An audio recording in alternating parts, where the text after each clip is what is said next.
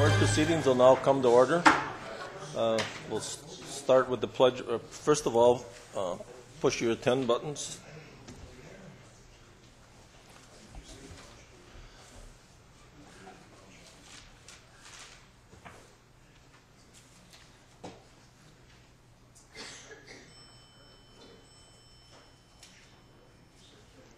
Okay, we'll start with the Pledge of Allegiance. I pledge allegiance to the flag of the United States of America and to the republic for which it stands, one nation, under God, indivisible, with liberty and justice for all. Supervisor Locke with the invocation. Bless us as we gather for this meeting. Guide our minds and hearts so that we will work for the good of our community. Teach us to be generous in our outlook, courageous in the face of difficulty, and wise in our decisions. Amen. Amen.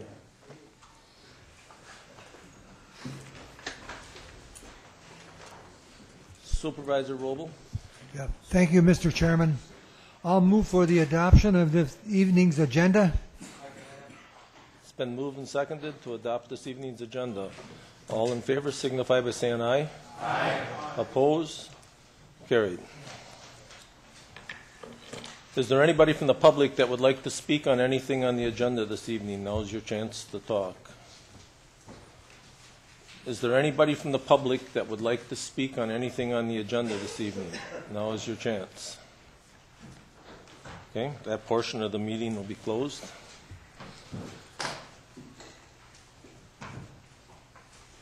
Communications and petitions from the clerk.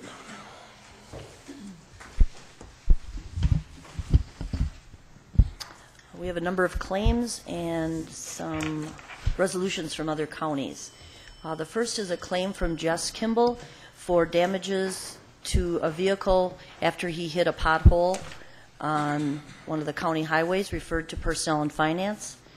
A notice of claim from Angela Canterbury for damage caused to her vehicle after hitting a large pothole, referred to Personnel and Finance Committee notice of claim from Badger Mutual Insurance for Brian Kozlowski for damage due to, caused to his vehicle after it was in- involved in an accident with a sheriff's department vehicle, uh, referred to Personnel and Finance. Notice of claim from Timothy L. Henderson for damage from multiple incidents while he was an inmate at the county jail, referred to Personnel and Finance. Notice of claim from William Kramer for reimbursement uh, for the replacement of tires caused when he hit a, an object on Highway 10, referred to Personnel and Finance. A notice of claim from April Sunby for damage to her vehicle caused by snow being pushed off of a Highway 41 overpass by a county snowplow, referred to Personnel and Finance. Um, We also have a claim from Nationwide Insurance Company for Ben Van Lankvelt for damage to his vehicle caused by a county snowplow, referred to Personnel and Finance. Of a resolution from Door County in support of Senate Bill 566 regarding statewide 911 emergency telecommunications system, referred to Legislative Committee. Resolution from Manitowoc County supporting Assembly Bill 429, which is, uh, which would set the minimum age for a marriage officiant to be at least 18 years of age, referred to the Legislative Committee. A resolution from Outagamie County opposing uh, legislation that would lift the state law limiting non-resident alien land ownership, referred to the Legislative Committee. Another resolution from Outagamie County, they support legislation that would require the Department of Corrections to develop a system of graduated sanctions for violations of conditions of release and permits, the- and permits uh, the sanctions to be imposed on the individual and allows the district attorney to use this gradua- graduated sanctions system, referred to the Legislative Committee. Legislation from, or resolution rather, from Price County uh, asking that Governor Walker mandate enough propane supply be held in reserve in case of severe weather or shortage of propane suppliers in the future. Referred to Legislative Committee. And then a resolution from Rock County regarding the creation of a new nonpartisan procedures for legislative and congressional redistricting. Uh, They support that type of legislation, and that's referred to the Legislative Committee.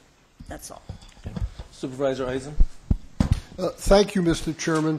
Uh, I'd like to share uh, an informational item uh, that I had viewed, a webinar by the uh, Wisconsin Counties Association. Uh, This item uh, addresses uh, the county organizational meeting that we'll have next month. And I'd like to give our fellow supervisors a, a link that they can view this webinar. It's about 40-minute webinar, and it uh, has a power uh, uh, point uh, which will prepare you uh, for the organizational meeting. Please visit www.wicounties.org slash forward slash events forward slash the number sign uh, past dash event dash materials. And this uh, webinar goes through the whole organizational process, and of particular interest uh, on the slide uh, is uh, especially when it advises, as does Robert's Rules, that in elections, you never drop off the lowest candidate uh, in a election. Uh, You always take additional votes until you uh, have a winning candidate.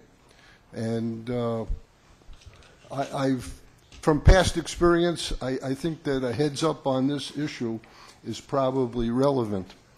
Uh, Thank you. Thank you. Supervisor Fari? Uh, Thank you, Mr. Chairman. I hope this isn't out of order, but I'd, I'd like to take the opportunity to recognize a high school that is uh, within Winnebago County. Uh, The Neenah High School, Neenah Rockets, uh, made it all the way to state this year, played in the Division One championship. Uh, Excellent game, and uh, I would- I would hope everybody watched it. If you didn't, it was a very good game, and just take a minute to recognize that. Who was that number 35 that made all them His name was Ty Haig. I believe is related to the gentleman right next to me. It's, it's, it's the one that's beat red right now. No, I don't think so. I think he's proud as heck. He should be. Seeing that you're on that same subject, Mr. Egan, would you tell us some more Final Four information? Well, thank you, and I want to congratulate Mr. Haig. Uh, very honorable. We did watch that game. We were down at Stevens Point for the um, Sweet 16 and the Elite Eight.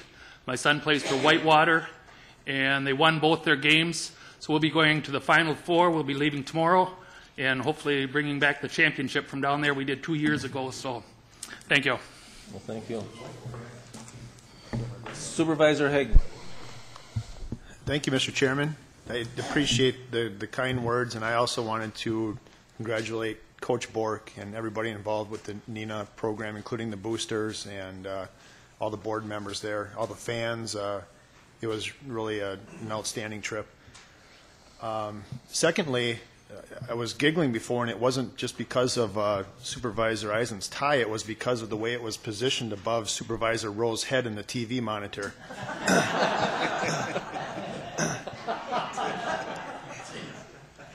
It looked it looked real cute. It was perfect.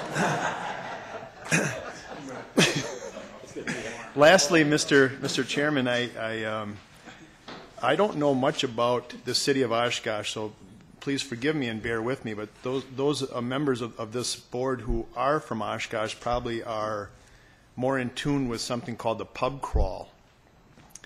Um, I've had some correspondence recently with a few members, uh, a few citizens of the city of Oshkosh who are very concerned with the upcoming pub crawl, and I'm not sure the date. Apparently, there's one in the spring and one in the fall. Um, however, it, it seems to me, and I, I had an email here that I, I've lost because I talked too long about Supervisor Rowe and his pretty green bow. Um, but it seems like the person who needed to take out um, the licensing and whatnot for the spring pub crawl did not approach the, the Oshkosh City Council in time to do so this year. Um, and it appears as though if the pub crawl goes on as scheduled, that there will not be uh, increased uh, surveillance, police uh, protection for the campus, et cetera, as there should be.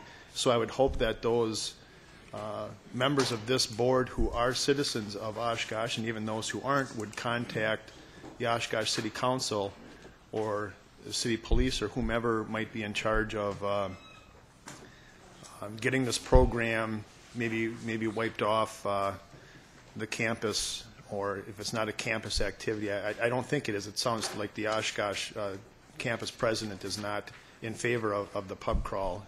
But uh, if we can do what we can to try to eliminate these types of activities, uh, I think we're all the, the better for, for doing so. So, thank you.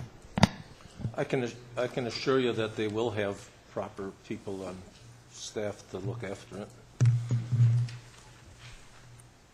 Is there anybody else that would like to report on anything on their committees, commissions, or boards? Supervisor Roll.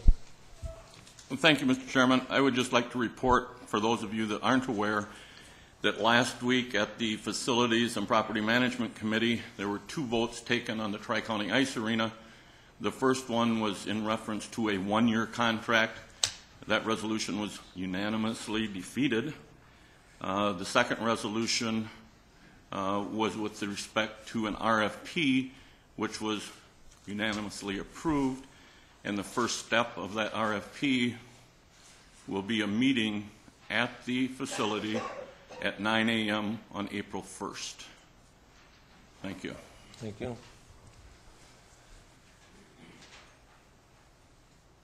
Okay.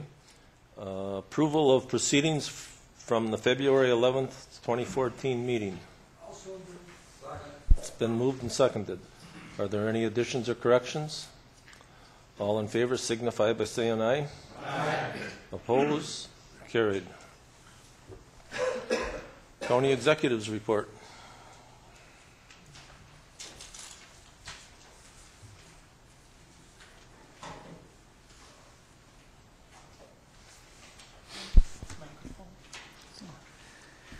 Uh, Tonight on your agenda, you have item 316, which is appropriating $1.8 million for a reconstruction project of County Trunk Highway T from GG to G. That's a fairly important project, and I would urge approval of that project. You also have three resolutions on your agenda tonight uh, with regard to pay for three elected officials, the sheriff, the clerk of courts, and the coroner. Uh, Those raises are not to take effect until November, but the reason they come before the board at this time is because those have to be approved prior to the date that uh, nomination papers can be taken out for those offices. So this is the appropriate time of year, of the year to have those brought. And that's all I have for you tonight. Okay. Thank you. Uh, Supervisor Gilson is under the weather, so she won't be attending. I didn't hear from Supervisor Barker, but uh, that's all I have to have, other than the final four families that did well in the basketball tournament. uh. So at this time, I'd like to call up Ernie Winters uh, from the Winnebago, he's the Winnebago County Highway Commissioner. He'll be giving us a presentation on County Trunk Highway I and N intersection.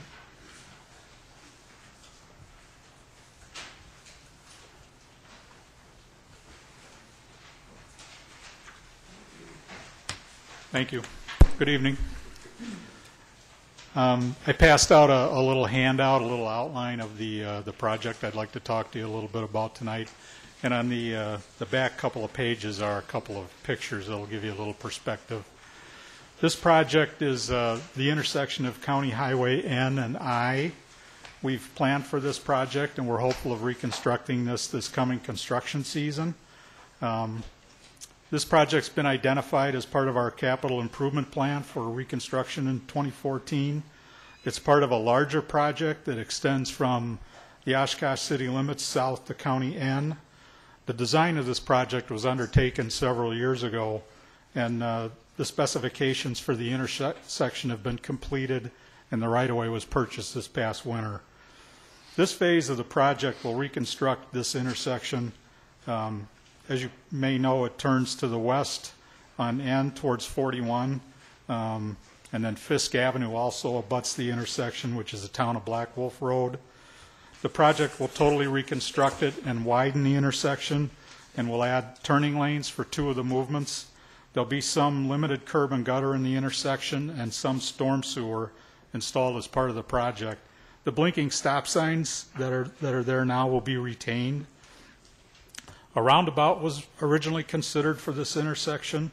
However, traffic counts and turning movement counts, which are used to evaluate the, you know, if it's warranted for signals or roundabouts, um, didn't meet the minimum requirements to put in signals.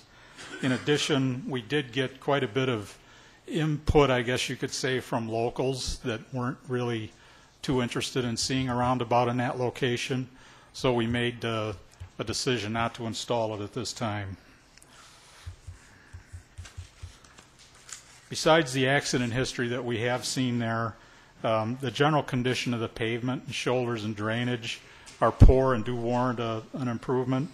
Uh, the existing intersection dates back to the mid-70s in terms of the last time it was paved. Um, the pavement's 24 feet wide, somewhat narrow, narrower on Fisk Avenue. It's pretty well cracked up and rutted and showing signs of coming apart. Typical pavement maintenance, crack filling, seal coating, chip sealing, even a mill and pave really won't address the problems. There are problems with the base materials underneath the road.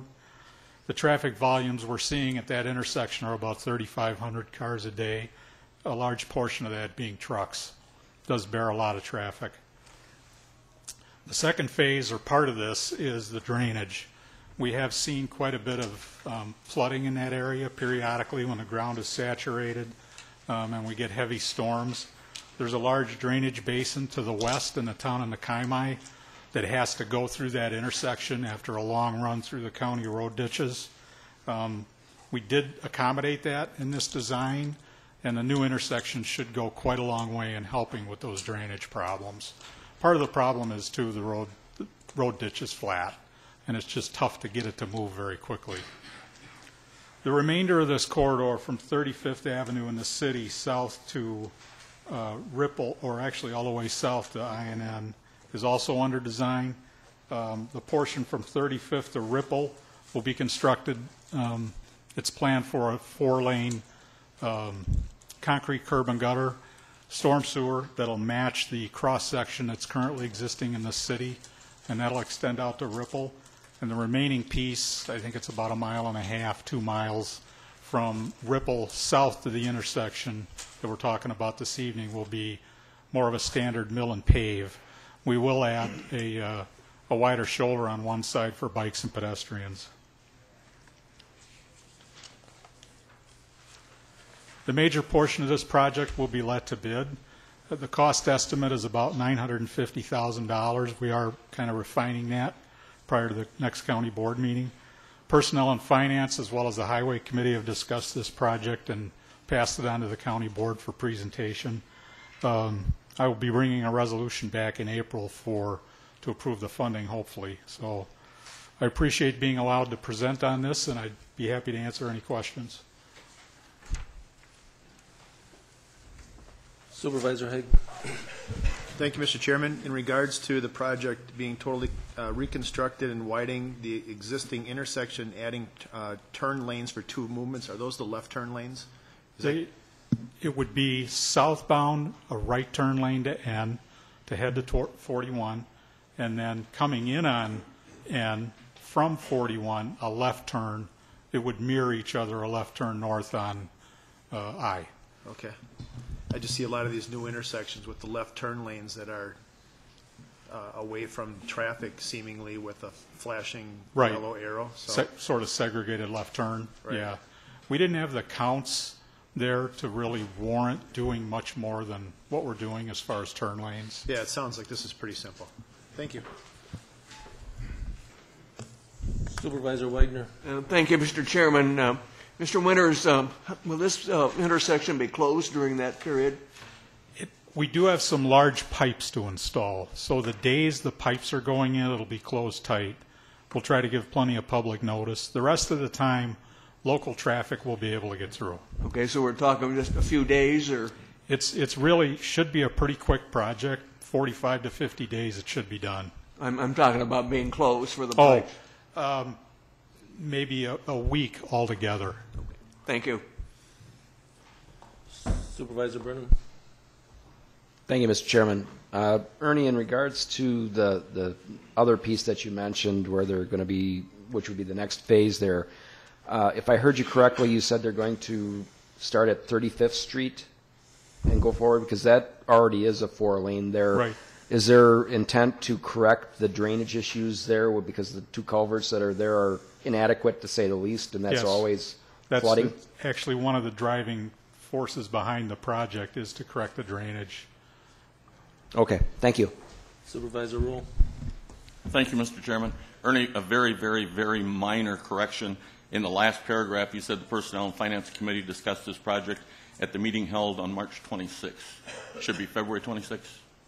Oh, thank you. No problem. Duly noted. Supervisor Olson? Thank you, Mr. Chairman.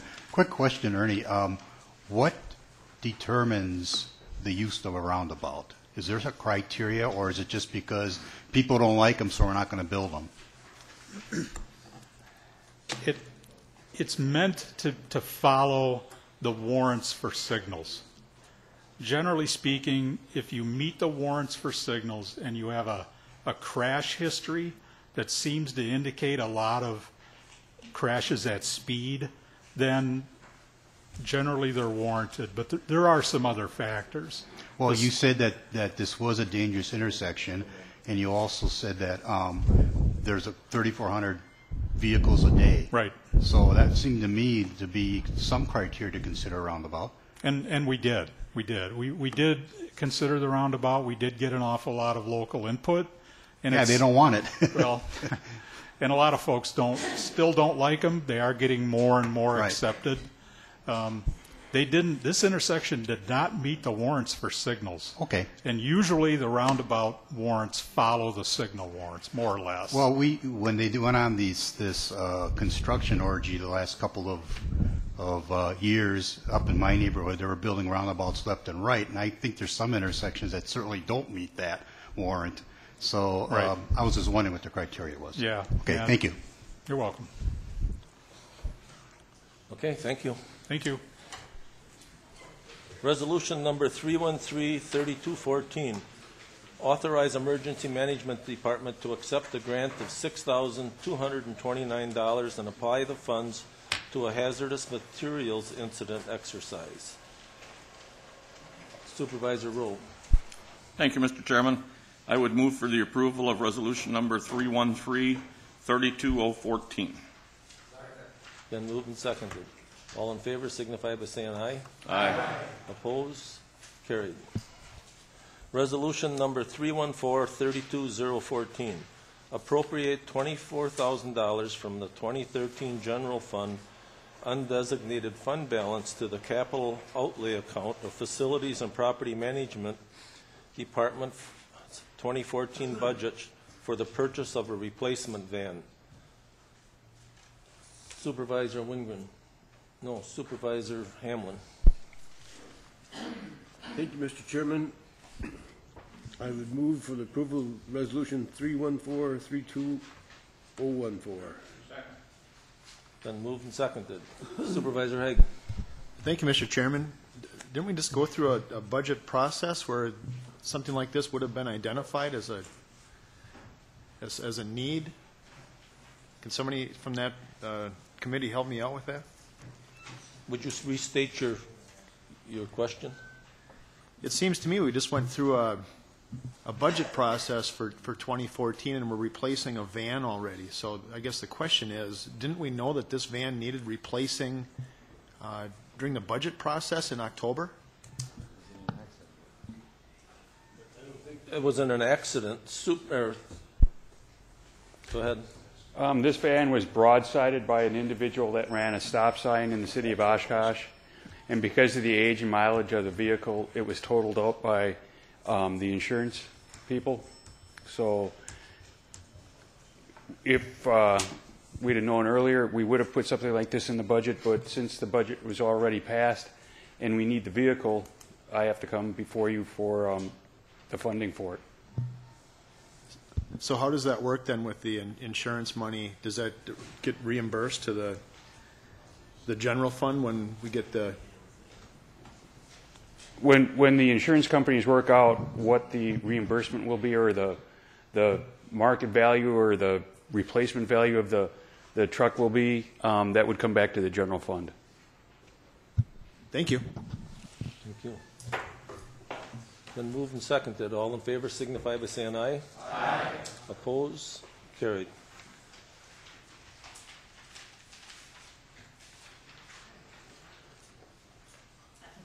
Authorize the district attorney's office to, uh, resolution number 315-32014. Authorize the district attorney's office to accept the grant funding of $57,489. That amount isn't, was incorrectly put there. It should be $48,356. So with that correction on, uh, and apply for funds to Compass evaluation position associated with the tool evaluation program.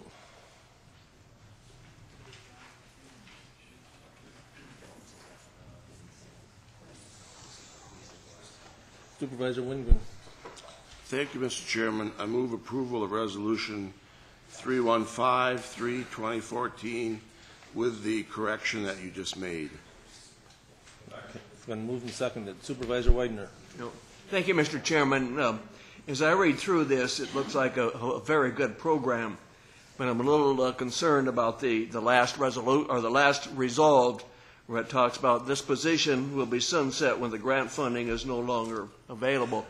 I guess my question is, if, if this is a good program, why would we not evaluate it at the end of the term, which I assume is one year, and determine whether we should continue it? If it's not a good program, and we're only doing it because we're doing, we're getting money from the state or wherever, then I would may question whether we should be doing it at all.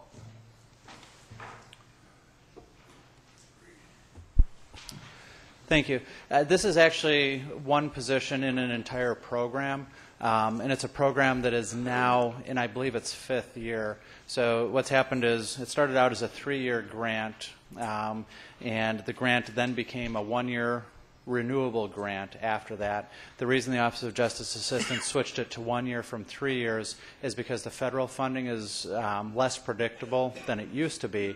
So uh, the idea is that the funding will continue for the position. However, we have to put in for a new grant every year now. Um, and with this one position, what we've been able to do is we've converted this grant to various positions to experiment with different ideas on the overall program. So the program is a drug diversion program. At one point, this grant money funded half of a program coordinator position. It funded at one point an AODA counselor. Um, now we've been using it, or we're going to use it for a uh, risk needs assessment person. However, the program continues to go on throughout time. The people are in place, the program's in place. This is just one position that's helping us figure out who to put in the program, how to better predict who will succeed in the program, things of that sort. So I, if, if what I hear you saying is that the program is uh, expected to continue, in the event that uh, the grant would no longer be uh, um, available to us, would we consider, or would we, uh, put it in our budget to do it ourselves? Um, we did with one of the prior positions. One of the prior positions we determined um, the cost benefit was not there, so we stopped um, utilizing it for a half-time AODA counselor. The program coordinator position became essential um, for this and other programs, and we actually created a, a fee structure for the program uh, to offset the cost of that position that the grant used to fund. So if the way that the grant is being utilized proves to be effective and is beneficial to the program, then we look for ways to incorporate that into the program permanently. Thank you. Yes, sir. Supervisor Smith. Uh, That's okay. Thank you, Mr. Chairman. I've uh, had my question answered. Okay. All in favor signify by saying aye. Aye. Oppose? Carried. Resolution number 316-32014, appropriate $1,800,000 for a project to reconstruct County Highway T from GG to County Highway G in the town of Vinland. Supervisor Roble, we also received a presentation on this just recently. Yeah, thank you, Mr. Chairman. I'll move for approval of Resolution 316-32014. Been moved and seconded. Supervisor Eisen. Thank you, Mr. Chairman. Uh, This is a question for our Finance Director. Uh, Mr. Orenstein, uh, approximately what kind or level of, uh, uh, of uh, interest rate uh, are we looking at on bonds that would uh, accommodate this kind of a borrowing? Uh, I know that for the longest time, we've been uh, experiencing very low interest rates, but what is the outlook uh, for this experience and for others that we'll encounter in the short term? From the last I heard, the rates are in the neighborhood of two to three and a half percent. That's a bargain in the big picture. Thank you. Supervisor Widener. Uh, Thank you, Mr. Chairman. Just got a quick question for Mr. Winters. Um, As I re- I- I realize you made a presentation on this last, last session, and I do agree with the fact that uh, we probably should be repairing that building, but know you got a comment in here, it says, "Address safety concerns." What concerns do we have on that road? Generally speaking, it's, it's narrow. There's not much shoulder on it. Um, This improvement will widen it out a little bit, put a paved shoulder on it, and make it a little more car-friendly at the intersections. They're, they're pretty narrow and tight as well. There's only two intersections on the whole road. Right. Okay, thank you. Oh, Go ahead. Okay, I'm sorry. Uh, the other question I have is we have now gone from Y to uh, GG, and now we're going to go to G. Is there any plan to continue on T s- down to, say, Larson Road? Actually, there, there is, that's in the capital improvement program for the future, and I've applied for federal and state funding for that portion as well. Okay. Thank you. All in favor signify by saying aye. Aye. Opposed? Carried. Resolution number 317-32014.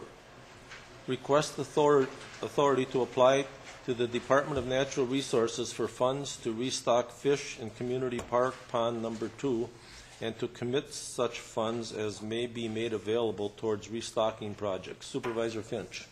Thank you, Mr. Chairman. Um, I move for 317-32014. If there are any questions, Rob is sitting in the back. Supervisor Widener. Uh, Thank you again, Mr. Chairman. Um, Since I'm on a roll, I want to keep going here. Just have a quick question here. In the second whereas, it goes down the last sentence, it says, "Mobility impaired individuals." Is that uh, religion speak for being handicapped? So are we going to have to change all of our signs now from handicapped to mobility uh, impaired? No. All in favor signify by saying aye. Aye. Opposed? Carried. Resolution number 318-32014, request authority to apply for funds for maintenance of Winnebago County-owned leased snowmobile trails. Supervisor Finch. Chairman, I move for 318-32014. Been moved and seconded. All in favor signify by saying aye. Aye. Opposed? Carried. Resolution number 319-32014, application for funding aid from the Wisconsin Department of Natural Resources to assist in repaving a portion of the Eureka Boat Landing parking lot. Supervisor Finch. Thank you, Mr. Chairman.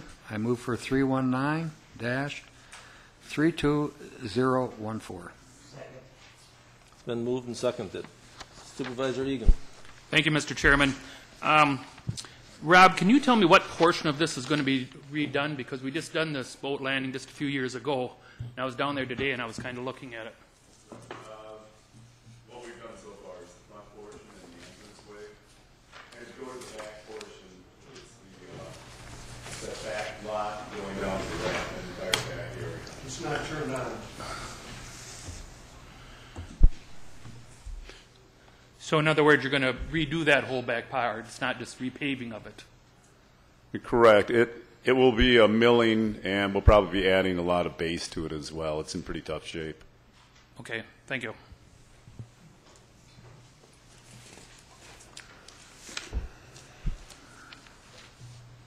All in favor signify by saying aye. Aye. Opposed? Carried. Resolution number 320-32014, application for funding aid from the Wisconsin Department of Natural Resources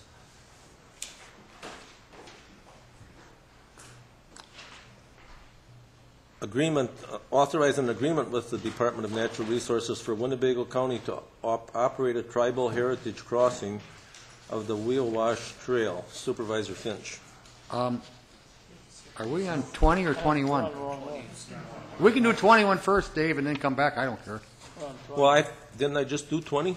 No. Oh, that, okay, that, I'm sorry, I, that, that was Boom Bay.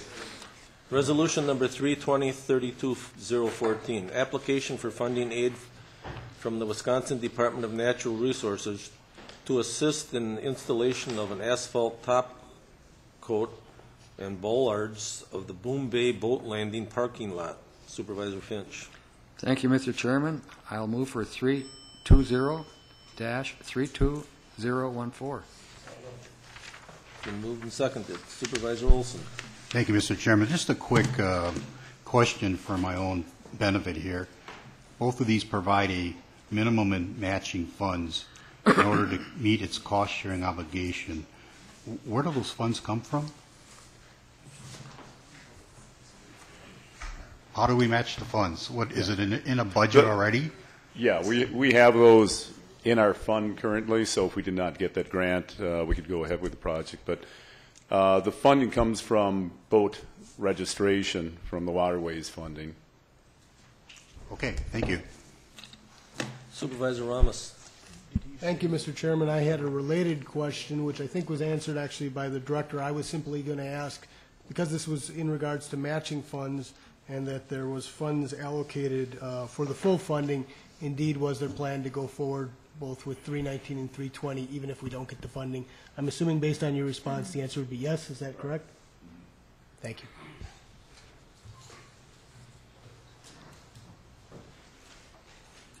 Rob, he's asking if that's correct. the- the That is funding. correct, yeah.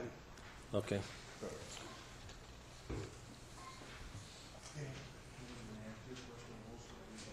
Author, Resolution 321, all in favor signify by saying aye. Aye. Oppose, carried. Resolution 321,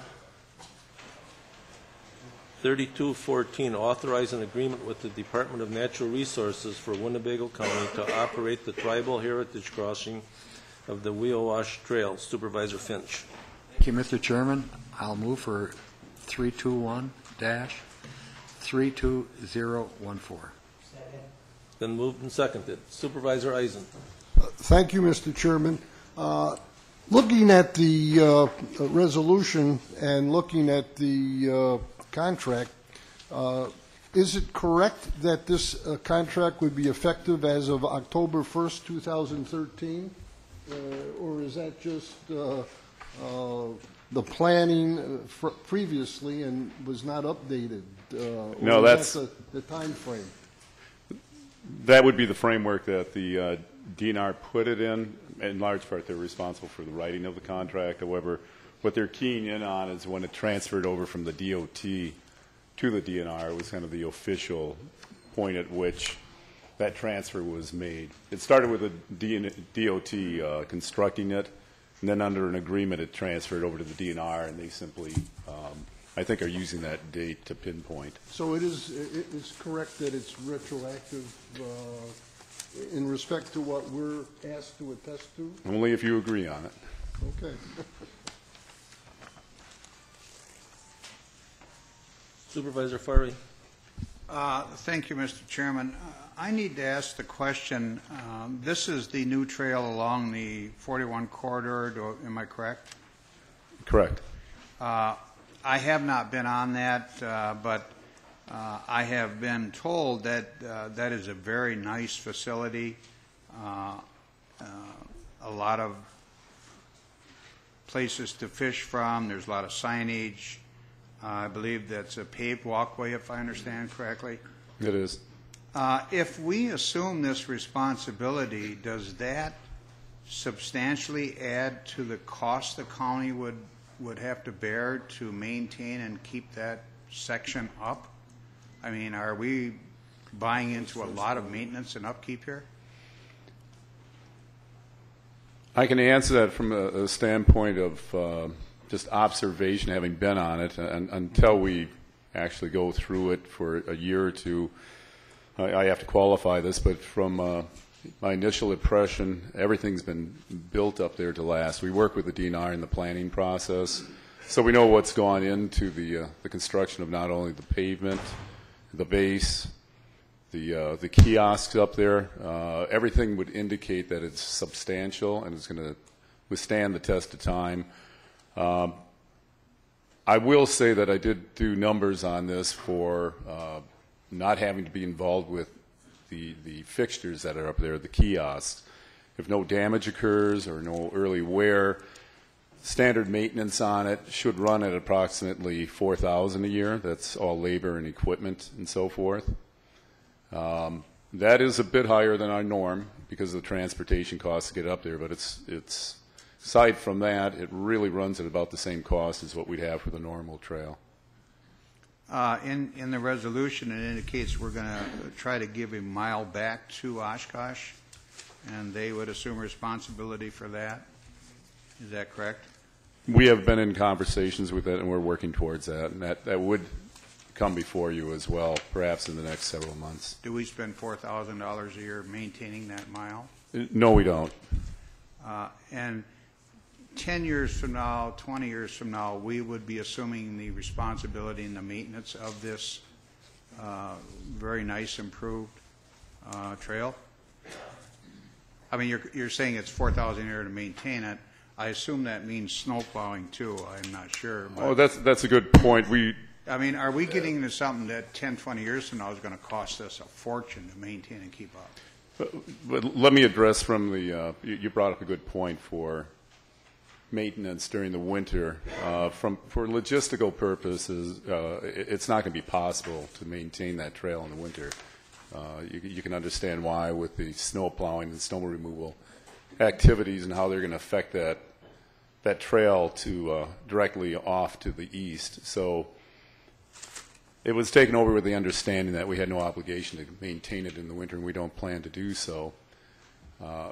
So our costs are going to be mainly in the summer, and yes, out 10 years, there might be some costs incurred with maintaining the kiosks and so forth. I can't calculate what that would be right now, but we do have plans for trying to uh, establish some sort of trust, uh, perhaps involving the Indian tribes to uh, try to build up an escrow account to uh, maintain anything that might be of significance up there.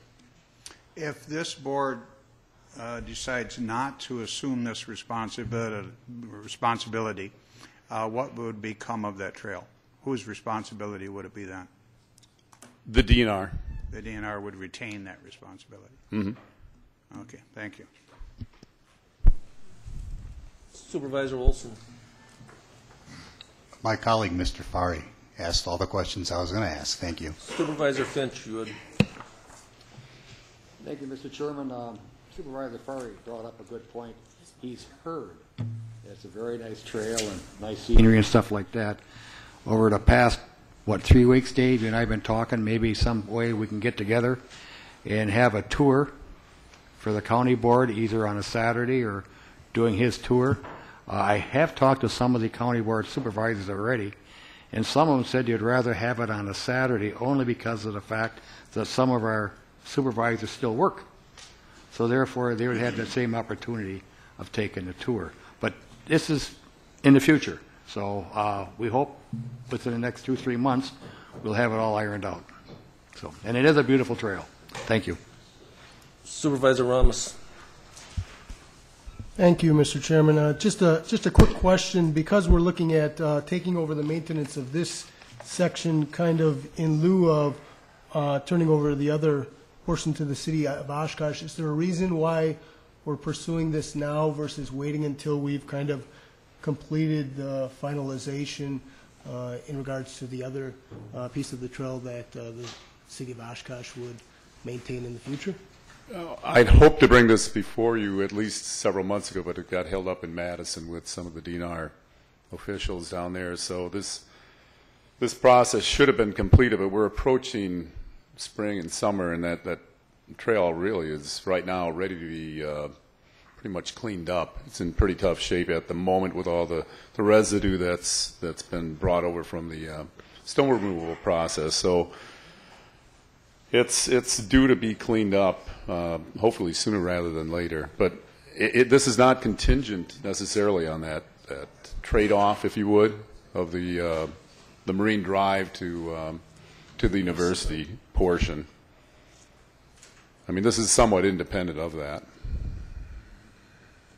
The, the reason I ask is that in the resolution, it doesn't look contingent, but it certainly looks like they're married together, and we're looking at offsetting those costs. So I'm Mhm. wondering why we aren't potentially making it contingent upon that. That would be up to you. It's, it's not contingent, but it shows an offset. It, um, typically, trails that are within city limits, as state trails go, are, are usually maintained by that municipality. And this is, uh, let's call it a correction, uh, perhaps, in what, what probably should have evolved initially. The city really should have had that portion to start with, but the county did move ahead with it um, some years ago, back in '94, and and by all rights, I think the uh, city would like to have that portion. Mr. Chairman, if I can make an, an amendment, um, I guess I'd like to make an amendment to make this contingent upon that. To me, this resolution is about offsetting those two. Um, so I don't know if I can uh, potentially add the wording on line uh, 18 to say, whereas the Winnebago County Parks Department is in the process of completing final trail maintenance tasks required as part of the arrangements for, and then add the words, and contingent upon turning over operation of the Marine Drive, the Wisconsin Street Bridge segments of the Wiouwash Trail to the city of Oshkosh. Um, I guess I would like to make this uh, contingent upon that, because really that's what we're looking at, is offsetting those two. And I, I- I guess I want to make sure that that happens.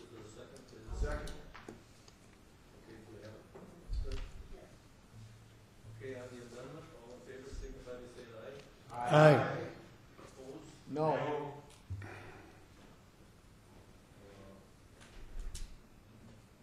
We'll give her a minute, we'll have to do a full vote on this.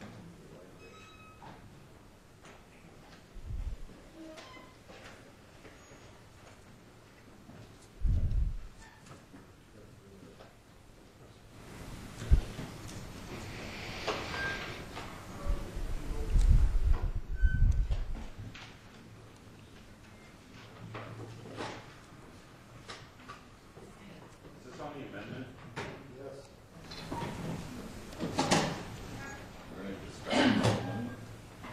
Is there any discussion on the amendment?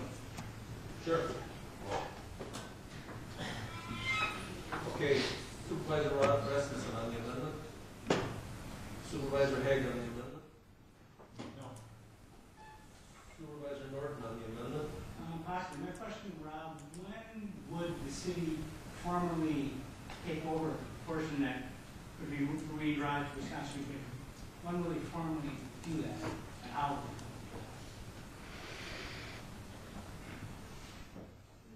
The uh, arrangements were that we would finish up in some maintenance of it, kind of doing some housekeeping on it, and then at that point, we would address it. Um, We still had one or two things uh, to go through, however, the, uh, it was weather contingent, so uh, it probably won't be at least for another month till we address those items. After that, I I would guess we could move ahead. So at that point, the Parks Board and your city council will have to agree to it. So at that point, a month from now, the. Their Parks Board will sign off on it, and then the city council will sign off on and agree to it? Am I, am I hearing that right? So it'll be about April until they'll, they'll agree to it?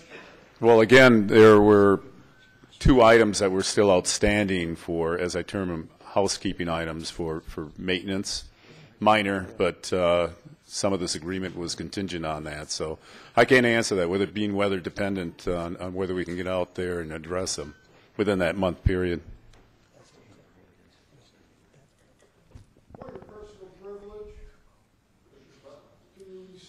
the amendment is, kindly?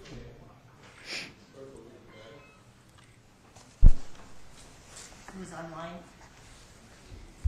18. It's on line 18. Tasks required as part of the arrangements for turning over and contingent upon turning over operation of the Marine Drive to Wisconsin Street Bridge segment of the Wiouwash Trail to the city of Oshkosh.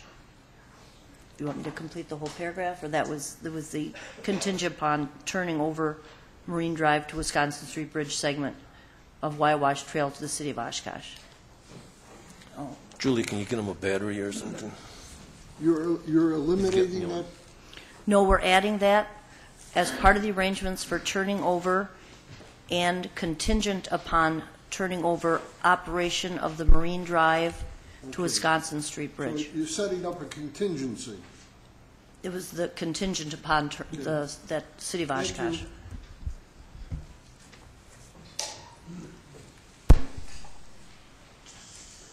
Oh, Dave, I think Ron wants to speak. Go ahead. Um, I'm going to vote against this amendment because we're just talking about a $4,000 annual increase in maintenance costs for trails for something that, you know, the DNR wants our parks to take over the maintenance of, which I think is a good thing for the county to do. And we're really not talking about a lot of money here. And we want to hold this arrangement off for another month and actually possibly two months because our next meeting is an April 15th organizational meeting. I don't know if we meet again in April after that. So we're talking May. Um, why, I don't know why we need to hold this up on contingent on giving a portion of the trail over to the city for maintenance. So I'm going to be voting against this amendment and voting for just passing this resolution. Thank you. Thank you.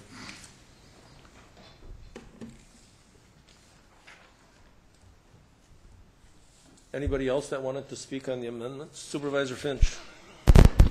Thank you, Mr. Chairman. I'm also going to vote against this amendment.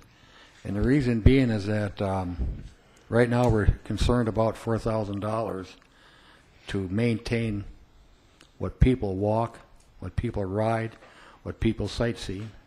Heck, we spend more than that on, on the soccer fields. I never hear any complaints about that.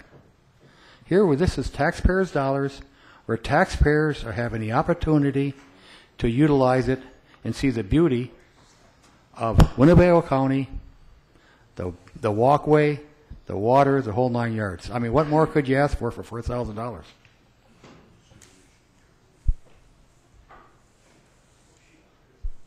Who else wanted to talk? Joel? Yes, thank you. Uh, My comments that I had, I think, are appropriate for the amendment here. Um, I was going to say that that trail was finished late last fall, and uh, I live fairly close to that and was on it a few times, and it's very popular.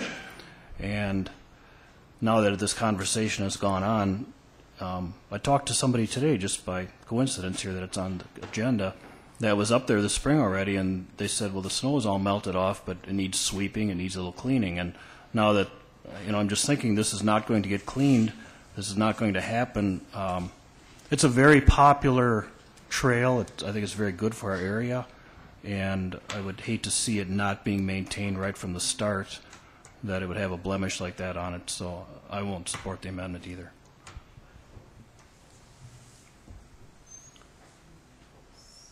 Okay, we'll vote on our little iPad on the amendment. You wanted to talk on the amendment? Okay.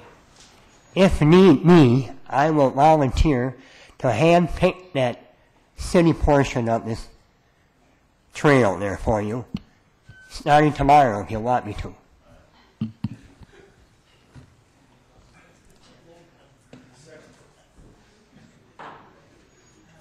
Okay, we'll vote on our little iPad. Vote aye if you approve the amendment, no if you don't.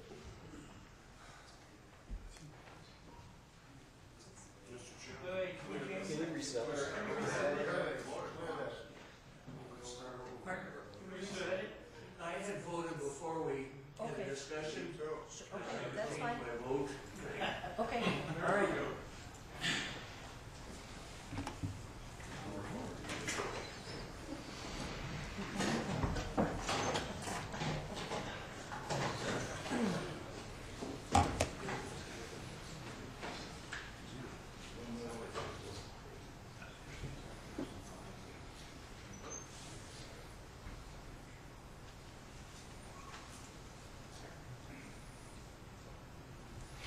That has failed.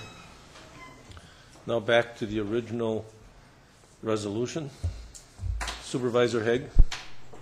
Thank you, Mr. Chairman. In, in regards to the maintenance, since this is a, a state and federal funded, uh, pedestrian trail, does that mean that it is required to be, um, plowed, et cetera? I know you said that there, there may be times when we can't and that, but I'm familiar with these types of trails, especially like the Trestle Trail in the town of Menasha there, and it's required that it be lit and plowed and passable 365 days a year. Is this the same? I've talked with the DNR, uh, the uh, Regional Trails Coordinator, and he said it's up to the trail manager, being the county, to decide what the policies are, and uh, he indicated that it would be fine not to uh, plow it in the winter.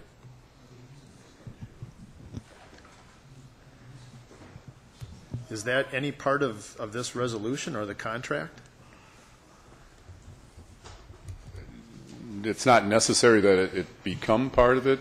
Um, This is mainly dealing with turning over the trail for maintenance and operational uh, functions. It's, it's up to the county to decide what sort of rules and policies would take place on the trail, as long as they fall within some of the, uh, the guidelines that the, the uh, state does apply for its, its rules, and most of those deal with, um, with fees, fee structure.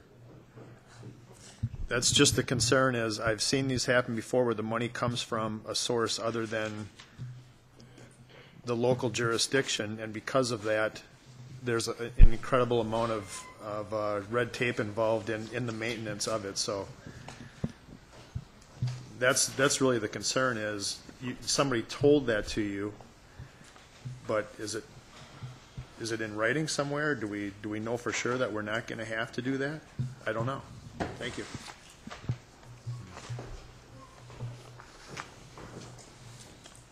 Okay, there are no other questions. We'll vote by our iPad. Uh, Vote aye if you approve, no if you disapprove.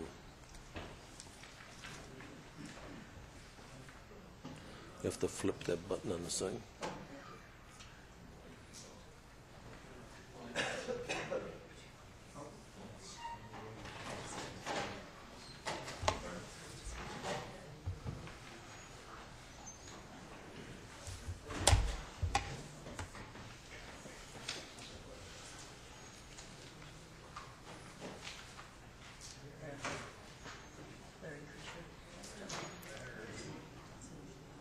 Tim?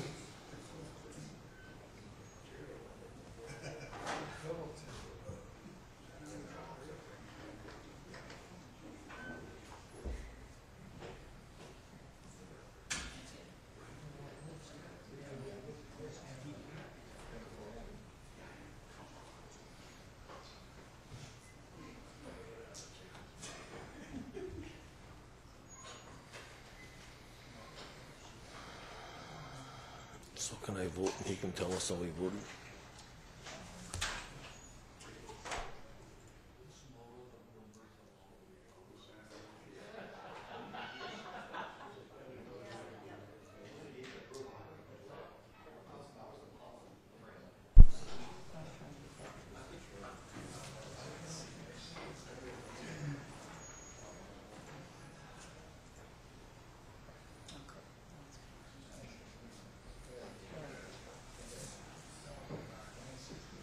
That is passed.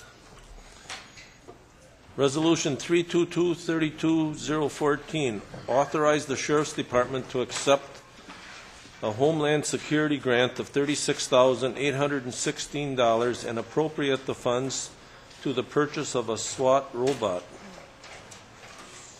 Supervisor Wingren. Thank you, Mr. Chairman. I move approval of Resolution 322, 3, 2014. Been moved and seconded. Seeing no questions, all in favor signify by saying aye. Aye. Supervisor Hardy? Um, I did have some questions, but it seems like we just took the vote, so. No, that's, well, I didn't, for some reason, your I, thing I doesn't thought I light up. rang it in. Huh?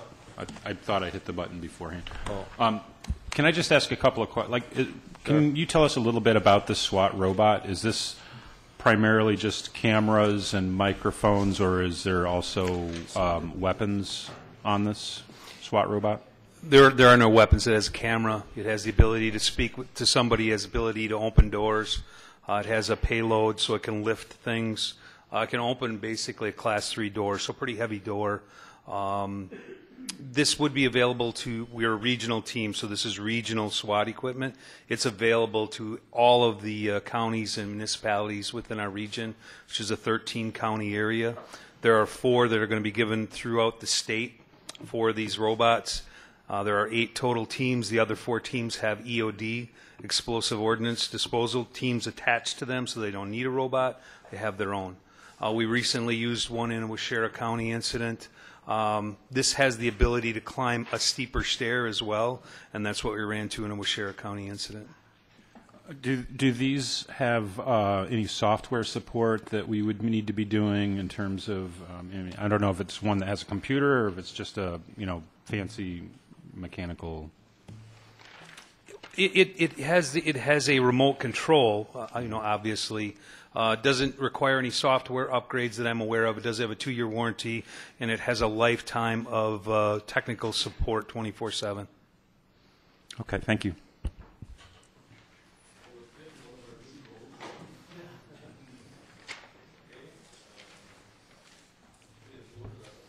Hmm. I'll go back to some prior resolutions and ask questions.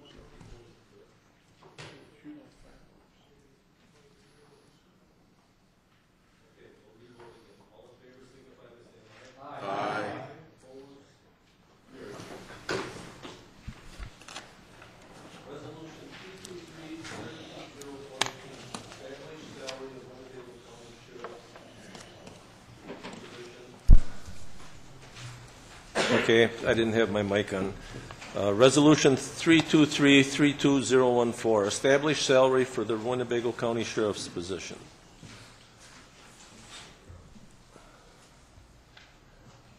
Supervisor Rowe. Thank you, Mr. Chairman. I would move for the uh, approval of Resolution 323-32014. And Mike Colliard is in the back of the room and would like to give a brief explanation where the numbers came from for the first year of this uh, 2015. Okay. Thank you, Mr. Chairman. The resolution before you uh, is calculated uh, by taking the sheriff's current salary and a step-up increase of $5,000 as a one-time step-up adjustment was applied to the current salary.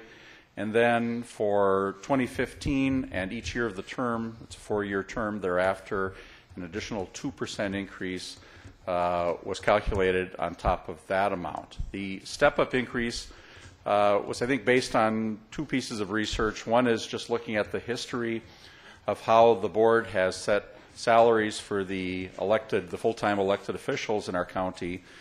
I looked at the history and determined that in 2008, the board uh, evaluated all really of our elected official salaries and determined that they were significantly below where they should be based on either the responsibilities or comparing us to other counties. And the board at that time approved a $5,000 step up increase for each of the three officers that, that were up for uh, reelection later that year in 2008, which were the county clerk, the treasurer, and the register of deeds. The other three uh, regular elected officials uh, were on the alternate term. They're on four-year term cycles, but overlapping two years between the two sets of three. And so when 2010 came around, or uh, and the board considered uh, the similar adjustments to the three uh, official salaries that are on the agenda today, uh, apparently money was a little tighter. Whatever the board's reasoning at that point was, they elected not to give that step-up increase at that time. So here we're applying it essentially now. But to verify that, we also did our own research. We looked at what comparable counties are paying the sheriff, in particular in this case, and uh, we looked at uh, well, Winnebago County being the seventh most populous county in the state. Uh, I think the top three counties are in a different category. Milwaukee, uh, Dane, and, and Waukesha counties are much more populous. So I looked starting with Brown County at number four, all the way through Fond du Lac County at number 15. So I looked at that list of 11 counties. uh, determined the current sher- sheriff's salary for all of them. If we look at the average, our sheriff was underpaid by a little over $5,000. So this step up should put the sheriff very close to the average of that group of comparable counties. It also matches the, uh, the step-up increase that was given the other elected officials. So, of course, the percentage increases uh, for the first year, 2015, uh, listed on the resolution, will show that the impact of that step-up increase, but it's really a 2% increase on top of that one-time adjustment. All in favor signify by saying aye. Aye. Opposed? Carried.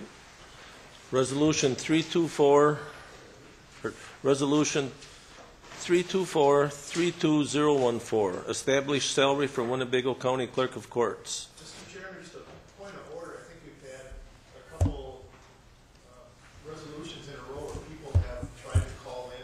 I didn't, there- nothing come up here with lights. I mean, one of them said he didn't, he fr- didn't push the button, but, uh, I, I know my neighbor just tried to poke his butt too, and it didn't. oh, I don't, okay. I don't know what's going on. I'll ask it at, at this next. Okay. Why don't you push your button right now before I go to make sure if we have to try to do something?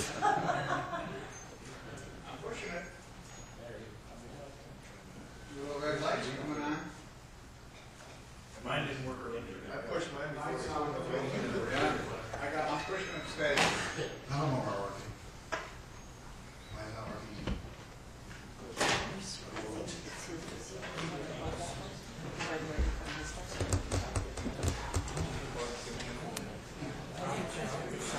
Yep, that, nope, that white box, yep, just unplug that for a second. And I'll plug it back in, and I'll see if we can. No. Have them try it now. Try it now once, Chuck.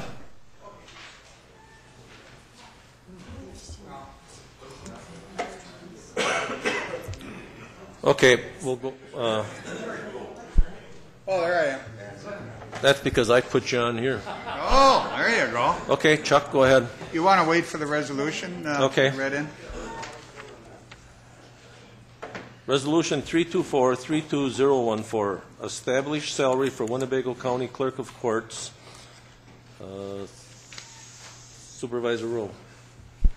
Thank you, Mr. Chairman. I move for the acceptance of Resolution 324-32014.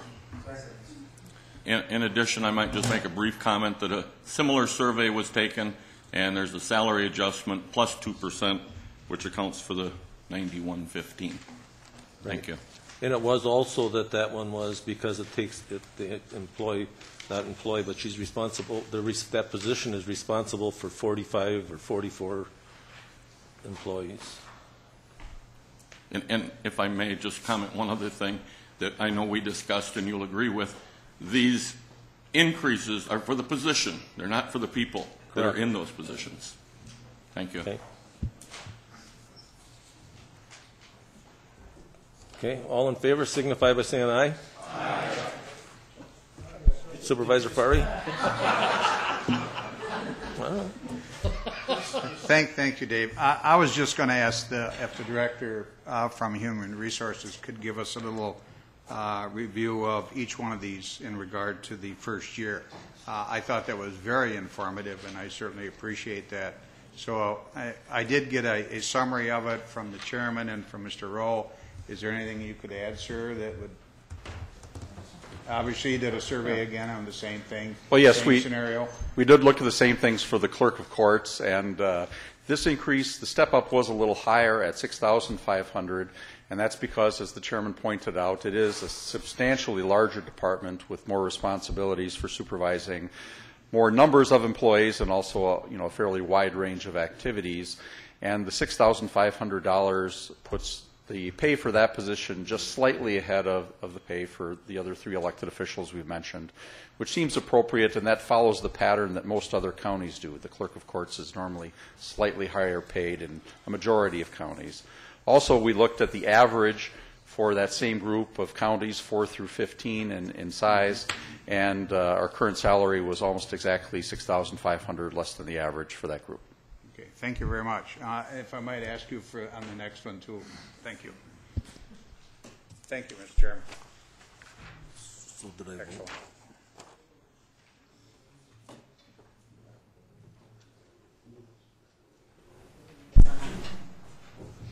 Resolution 325, 32014. We got a vote, Mr. Chairman. Three twenty-four. I don't, did we vote? I don't think we voted.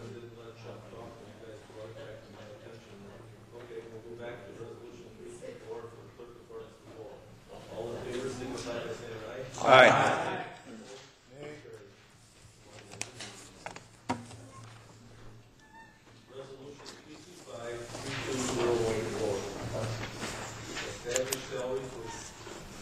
Establish, establish salary for Winnebago County Coroner. Supervisor Rowe. Thank you, Mr. Chairman. I move for your approval of Resolution 325-32014. It's been moved and seconded. Did you push, you tried to punch into? Okay, go ahead, Mr. Turner.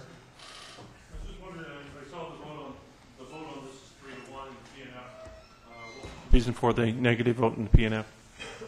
Supervisor Brennan. That would be me. Um,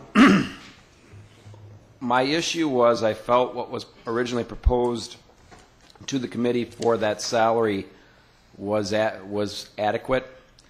Uh, my issue is that we are not it, to put the comparables together on this position is more difficult than any other uh, position that's elected because there uh, are because of the way this department is set up in other counties. Some are elected, some are appointed. Uh, you have an ME uh, to try and figure out the comparables of what's an adequate wage for this position. Uh, I did not believe we could get an ad- accurate uh, comparable for that. So uh, when we increased the, the wage on this specific position, I really didn't feel that was justified. So uh, because of the lack of comparables, I'm sure that the director can discuss that in his comments as well. But that's the main reason why I voted no. Okay, who else wanted to talk? Supervisor Ramos? Thank you, Mr. Chairman. Um, I, I'd actually like to hear the director's comments in regards to this position. You've done a nice job with the other two positions. I guess I'd like to hear a summary of some of the comparable data you used um, to arrive at this recommendation. Thank you. I should probably quit while I'm ahead because those were easy compared to this one. but no, I'd be glad to address that. Uh, as uh, Supervisor Brennan pointed out, this one is significantly harder in terms of a position to find comparables for. When I looked at the list of other 11 peer counties, the same group, only four of those 11 have a elected coroner. And one of those four, Sheboygan County, uh, compensates the coroner purely on a per call basis. There's not an established salary. Should also mention that county is voting tonight on a resolution to uh, eliminate the elected coroner position and convert it to a medical examiner position. So the other counties in the group all have me- appointed medical examiner positions uh, that are not elected. Uh, of that group, uh, about half of them use uh, medical doctors, pathologists, in the medical examiner function. There are, I believe, three that we know of that use someone who's not a medical doctor as a, as a medical examiner, someone who's not a physician. Uh, and so we've looked at the numbers for those three. Actually, I got slightly different numbers than, than the coroner did when he provided his research, but they're in the same range. Uh, so, in my opinion, you know, as a human resources director, I can't consider that a pure direct comparable because there are differences to an elected opinion compared to an appointed in that the first thing you looked at in setting salary typically uh, under a compensation system is what are the minimum requirements for the position, and that's very murky with an elected position, of course, because it's up to the voters to determine the best qualified. You can't set the minimum qualifications. And, and for some other reasons, elected official salaries tend to be set a little differently than, than an appointed position would be. So it's much harder to draw that comparable. If I look at just the four counties and I make a reasonable assumption on Sheboygan County, how many calls they get compared to the number of calls we get, uh, I came out with an average compensation of 57,881 just for the elected coroners. Uh, Outagamie County has a half-time elected coroner, so I doubled that salary, for instance, in that computation uh, to try to get something more comparable. Our current pay was sixty-two thousand five twenty-seven, so we were a little bit above the average there. Uh, when I fold in the three counties we know that have appointed non-physician medical examiners, I get a number uh, of 61,426. Again, I'm making some assumptions there, so it's not completely precise, but that's right about where we are on salary. So I don't see a basis uh, on the comparables alone to adjust the salary, so I didn't recommend the $5,000 step up. On the other hand, there certainly are a lot of responsibilities associated with that position. Uh, the coroner came and spoke to those, and uh, we definitely want to be able to attract someone who is well qualified, since there is a danger that someone unqualified could run and be elected, especially if the salary is not attractive enough. So I think the committee essentially reached a compromise where we didn't have the comparables reason to provide the step up, but there was still some desire to provide an attractive salary. So this uh, proposal includes a step up of $2,000, uh, then the 2% each year. So it's calculated in the same way, but just for the $2,000 step up. Just, just a follow-up question really quickly. Um, In regards to Waukesha County, do they have a medical examiner or a coroner? I didn't look at Waukesha County, to be honest, so I I'm know not that they positive. were within the three that you didn't look at. The reason I'm Yeah. asking is, if they had a coroner, for example, and their coroner's salary was actually less than ours, but it was a more populous county, then that might lend itself to asking us Mhm. whether or not we really should be increasing. That's why I'm asking. Because, because we have such limited comparables. The only, Well- the only county, I, I think Waukesha County has a medical examiner, I'm just not probably do. sure, so I can't say. I'm, I'm positive Dane and Milwaukee counties have uh, medical examiners, pathologists. The only county I know of that's larger than us that has an elected coroner is Outagamie, which has a half-time, it's considered a half-time position as an elected coroner at 32,770 would translate, you know, if you multiply it times two, to 65,000, so slightly above ours. Uh, But some of the ones, some of the counties that are slightly smaller than us have significantly lower salaries, so it's kind of a hit and miss. That was going to be my ne- next question. Okay, thank you. Was there Supervisor Haig? Thank you, Mr. Chairman. In, in regards to the group of, of these three resolutions, I, I think this is in the area of state law that I, that I don't understand. I, I certainly think that you, you should pay the person and not the position, and I don't know why we're, why we're giving a raise to a position where there are so many unknowns here. Um, I don't think in, in the past we've had, have had difficulty attracting people for these positions. I mean, you can tell me if I'm wrong, if we've never had people run for or um, want to become sheriff or clerk of courts or coroner for Winnebago County. And, you know, I, I always tell my kids, um, you know, you don't have to do the same things as everybody else. So I don't know why we think that we need to, to jump, you know, in line, so to speak, with the average of what everybody else is making. That seems, that seems a little awkward. Um, and also in, in regards to the, the backside three years of, of these raises, are we assuming that these other counties that we have um, information from are, are giving a 2% raise per year? Or do we know that? I think, I'm positive that the major, we're still below most of the other counties, even at the raises that we gave out. Uh, Mike, could you, Mr. Collier, could you answer that? S- More specifically, in regards to the last three years, do we know, or are we assuming that those uh, comparables are giving a raise in the last three years? A 2%? Well, for, for the next three years, is that the question? You know, for the upcoming term? 2016, 2017? Yes. We're starting in 2015. 2018. We, we do uh, have a, a regular uh, email list among personnel directors to try to keep tabs of what everyone is proposing. And so I have some information from some of the other counties about what they're proposing for the upcoming term. And, and there is a significant variation. Um, but, for instance, if I look at the sheriff, uh, the email uh, report that came out from personnel directors uh, for the upcoming term shows an average in, see, some counties just give the increase all at once for a four-year term. So if I add, if I add the four average increases together from among those counties that have identified what they're planning to do, it comes to uh, about 9% over four years on average. So that's a little over 2% a year spread over the two-year term. That's from the information available, you know, as of a week ago, which was the most recent I could get.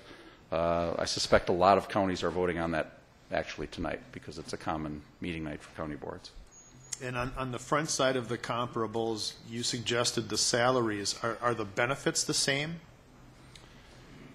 The, comp, the, other than paid time off benefits, the elected officials generally do not get paid time off benefits because they don't need vacation. It, it's up to them how much vacation to take. Their salary is fixed regardless of how much vacation or, or sick time for that matter they take. Uh, they do get the same health insurance on the same basis as other appointed department heads would, and so that's a fairly common practice.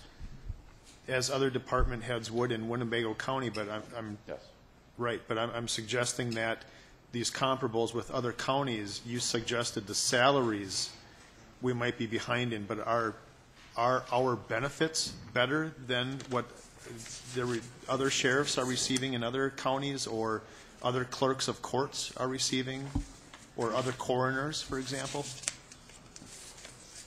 Did you compare the benefits as well as just the salaries, because that's part of it? The, the report I gather from other personnel directors does include uh, a report on the percentage, for instance, of the health insurance premium that people pay. And most of them are in the range of 10 to 15 percent, which is the same uh, percentage we use. It's 10 percent or 15 based on whether the uh, health risk assessment is obtained. So I think we're, I think our benefit package overall, based on my experience, is pretty comparable to most counties our size. Thank you. Supervisor Warnke. For those of us who've been here for a little while, um, we went through this coroners thing um, many times, and um, I know you're not supposed to vote for the man, you're voting for the position, but as far as I'm concerned, we're getting a heck of a good deal with this wage. Um, They talk about medical examiners, and the thing is that they're not telling you about is when you have a medical examiner, you're hiring a full, a doctor. And he has to have a place to um, examine these bodies and everything else. There's a lot more um, money involved. And we um, hire a medical examiner case by case. Um, our coroner has been doing a, good job, and for some reason, uh, the people, a lot of people on the board seem to attack the coroner's office.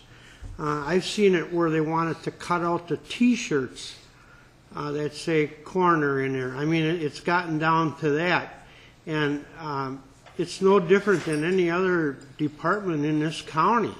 Uh, they do their job, and this is not a real big increase.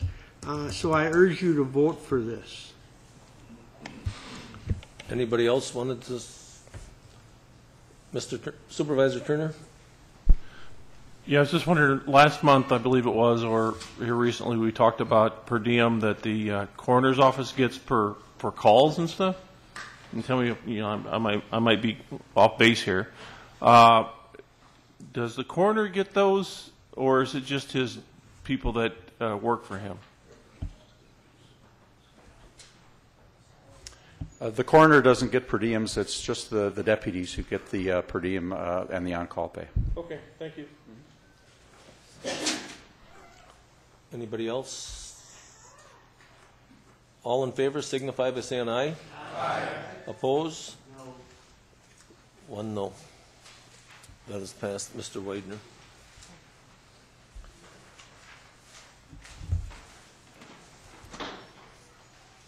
Resolution 326, 32014, amend the table of organization for Winnebago County Planning and Zoning Department. Supervisor Rule. Thank you, Mr. Chairman. I move for approval of Resolution 326-32014. Been moved and seconded. Seeing there are no, is there anybody that has a question? All in favor signify by saying aye. Aye. Oppose? Carried. Resolution 327-32014, appropriate $12,000 from the 2013 general fund undesignated fund balance to the legal service account of the Corporation Counsel's Departments 2013 to cover a cost overrun. Supervisor Wingren. Thank you, Mr. Chairman. I move approval of Resolution 327, 3, 2014. Been moved and seconded. Are there any questions? All in favor signify by saying aye. Aye. Opposed? Carried.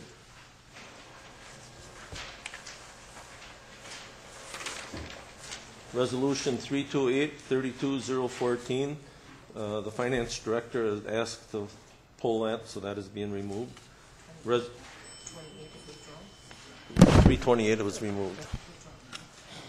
Resolution 329-32014, authorize the Finance Department to extend the audit contract of Schenck Business Solutions for a three-year period, 2014, 15, and 16.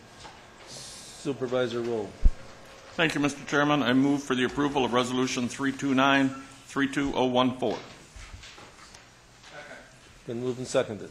Supervisor Hagan.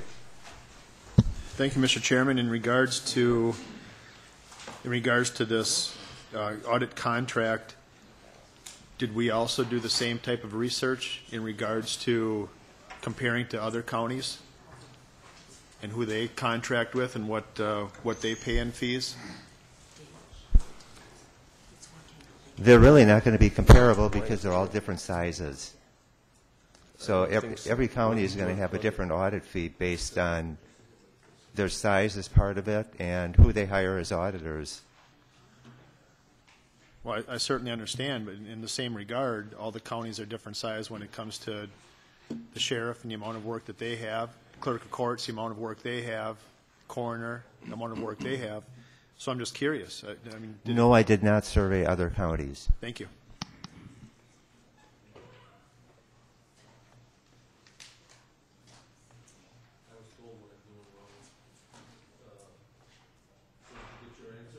Yes, sir.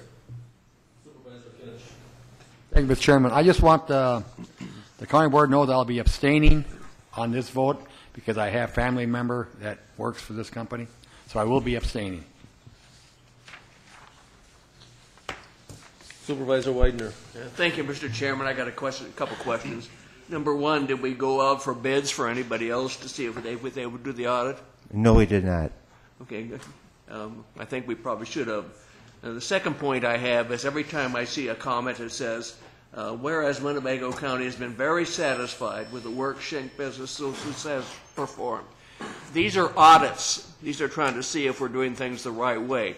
And if we start getting very comfortable with somebody, then are we really sure that we're getting an auditor that's taking a hard look or someone that says, gee, I'm getting along with them, let's just do that. So I think that before we do anything on this, we should get other bids and we should also look very hard at getting a second auditor and let them see what we're doing things correctly.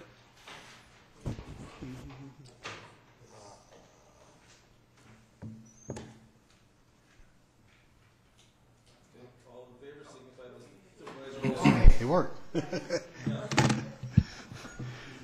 Um, Mr. Widener, are you suggesting an amendment? No. What are you suggesting? Okay, basically, without the, uh, first question I asked, did we have any bids? Right. They said we did not. Right. Then I was saying, I think that we should be looking at other auditors. Do you think I should have an amendment for that? Well, it's, it's a change from what's been presented here. I don't know if it needs an amendment or not, but, you know, I don't know if um, the relationship he has with Schenck Business Solutions, if it's a solid business relationship and there is a level of trust between the two, um, I don't think necessarily it has to go out for bid because you've come to a point now where you're comfortable with what their expectations are and what your expectations are. Um, so I just think the, if, if, if uh, if Mr. Ornstein is satisfied with Schenck, I don't see any reason why we shouldn't go ahead. There were extensive discussions in the PNF committee over it, so. Can I? Okay, go ahead. If you look at the history of their audit fees, they've gone up 1% a year at the most. They do a good job. The, the cost of switching auditors is not just in the price. You also have new auditors that have to learn all the different departments' operations. They end up spending a lot more of staff time in different departments in the process of understanding what they do. It's very time consuming for the departments, and it's a, it's a tough thing putting out a, a it's a very time consuming process. That's not an excuse to not do it, but their fees have been really uh, stable. The last audit firm we had, every time a new accounting pronouncement came out, they wanted an adjustment to their fee because they said it was going to take more time. We've had lots of uh, new accounting pronouncements come out over the past six years, and they have never come to me and, and made that argument. So they do a good job. It's, it's, it's, it's costly to all the departments that have to train them on what they do, and their fees have been, their, the increases are so minimal that um, I recommend that we go ahead with this. Supervisor Widener's ready to jump out of his chair. Okay, um, basically, and, and I was ready to, to, to pass on, but I will say, to me, the point is, we got somebody coming in and has to ask questions about how we do things, is exactly why we have an auditor. We're not looking at this from a cost standpoint. I didn't make the comment about do we get bids. That was a question. But the, my feeling really is really strongly that when you're having an auditor, the person's coming in is supposed to be looking at what we're doing as are we doing things other than just the general accepted, um, whatever they call that. Um, so, in a, uh, uh, Chairman Albrecht commented this was discussed a lot in the uh, finance. I hope they went through that same discussion.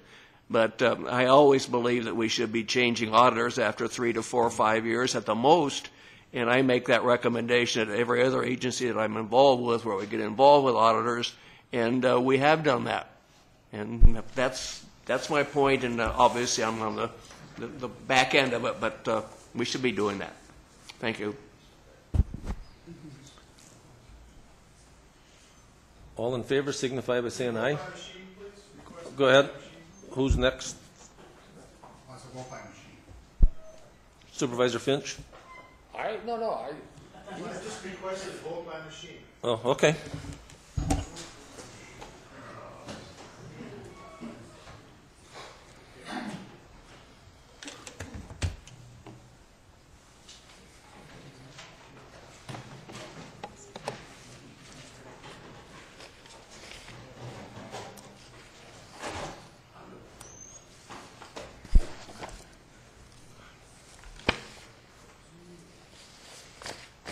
That is passed.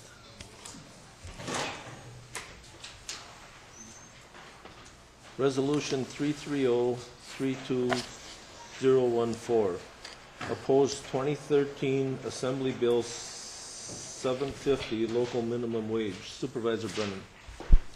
Thank you, Mr. Chairman. I would move for the adoption of resolution number 330-32014. Second. Been moved and seconded. Supervisor Haig. Thank you, Mr. Chairman. In regards to this resolution and, and the following uh, resolutions where we're either supporting or opposing Senate bills or Assembly bills, I do appreciate um, Mr. Brennan going through the trouble of, of printing out uh, the entirety of the legis, of the proposed legislation. Um, I'm curious to know, however, before we vote on this, how many of the supervisors of this body either read the proposed legislation or contacted uh, an elected representative of either the Assembly or the Senate and asked questions about um, these bills. Can I get it, just a quick couple of, couple people did? We actually had some people read it?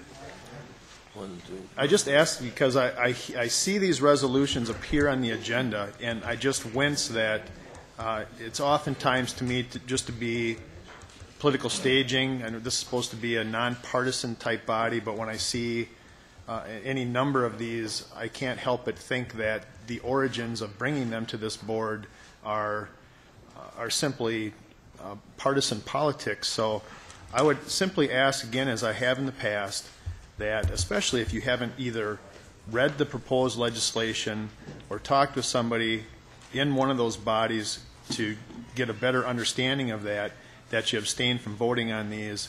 And even though I did that, I'm going to abstain too, just so that whoever keeps bringing these uh, to the legislative committee would, uh, you know, stop, I don't want to say necessarily wasting, but spending a lot of our time on issues that we really don't have a whole lot of control over.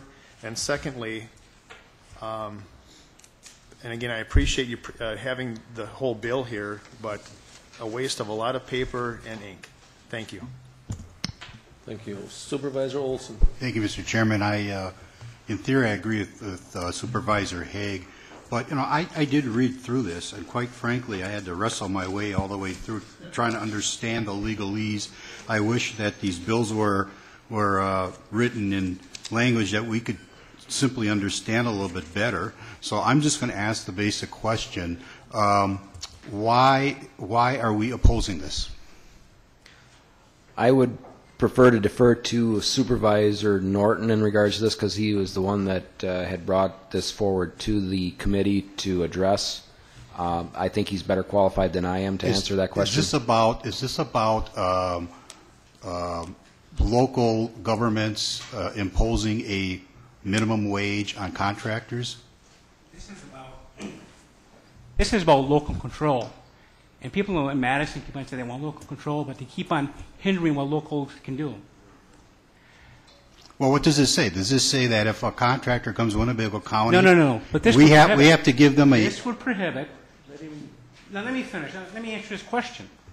Because he's getting into, it has nothing to do with a, a lo- local wage ordinance. It's, with, there's, it's about a local wage ordinance that's been in place in the city of Madison and Dane County for 15 years under both Republicans and Democrats, both in control of the, uh, the legislature and in, the state house. Milwaukee passed one, and within a week, they, this comes up. It has to do with local control. It doesn't have, and that's the thing.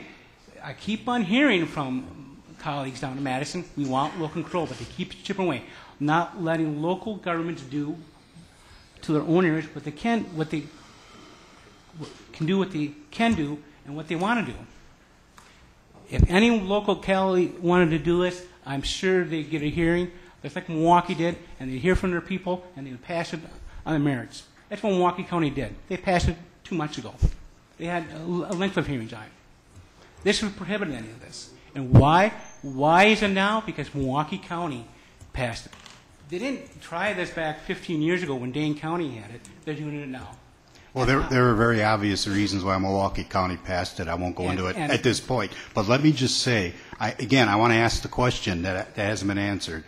Is this bill, does this bill allow local county governments, do they must offer a, a raised minimum wage for anybody to contract with them? In other words, if the, if the minimum wage is eight seventy an hour, in order for a contractor to contract with, with a local government, they would have to negotiate a higher minimum wage. That is my question. They'd have a living wage, and that's what this prohibits, which a living wage ordinance, which they do have in Dane County and Milwaukee County.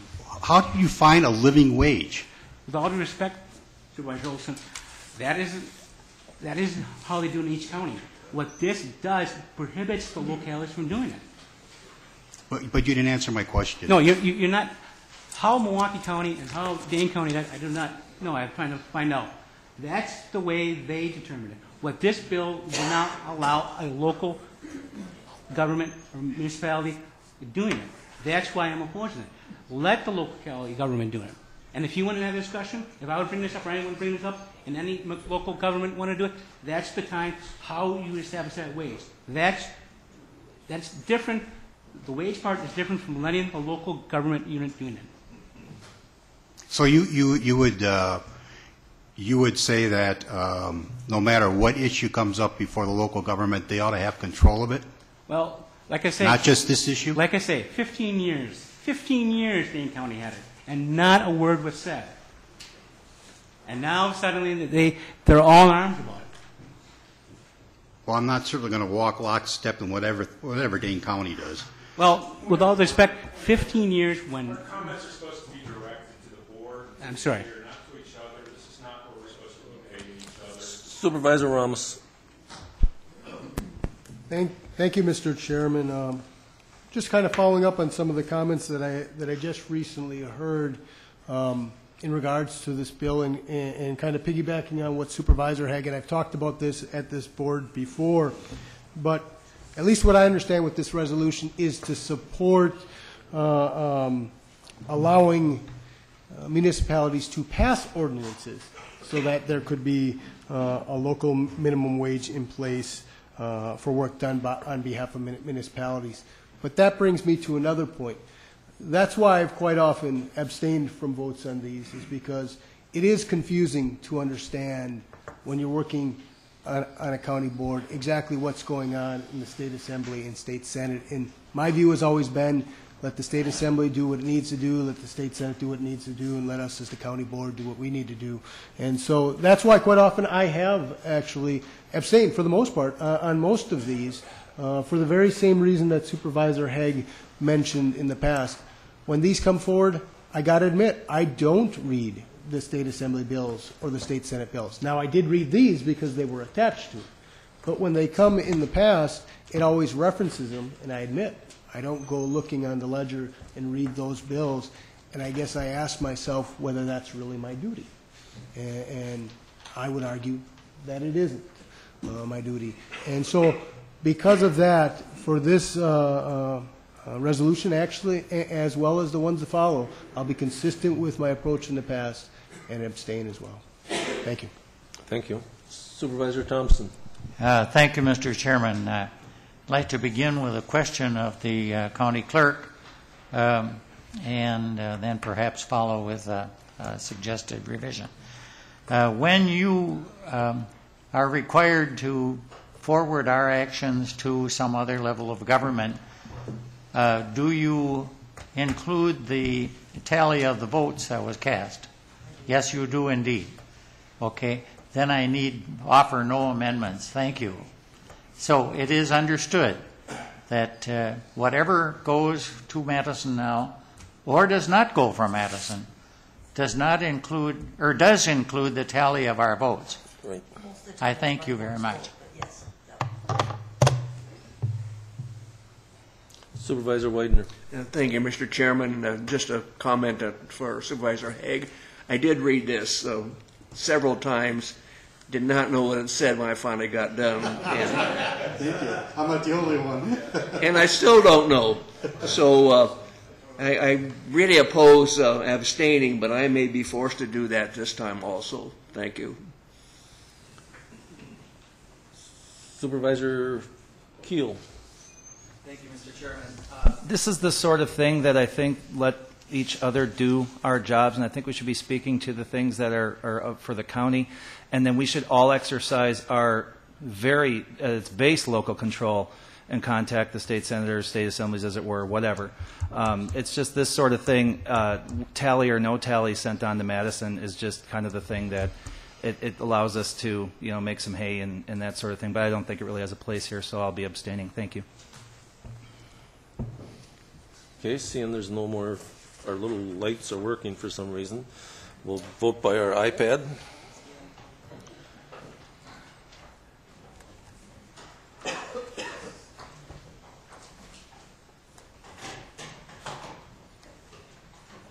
So what if I want to change my vote I did wrong? Huh? Um, you have confirm, I think you can go ahead and change it.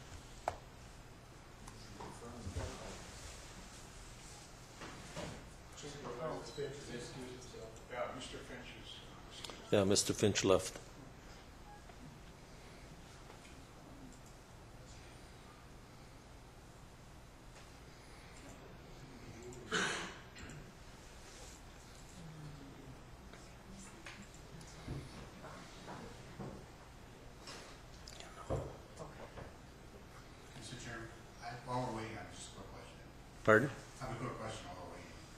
Okay, go ahead. We had this, a similar situation like this last year.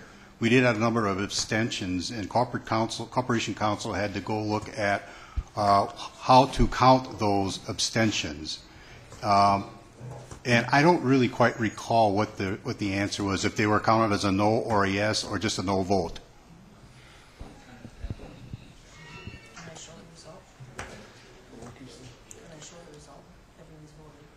Yes.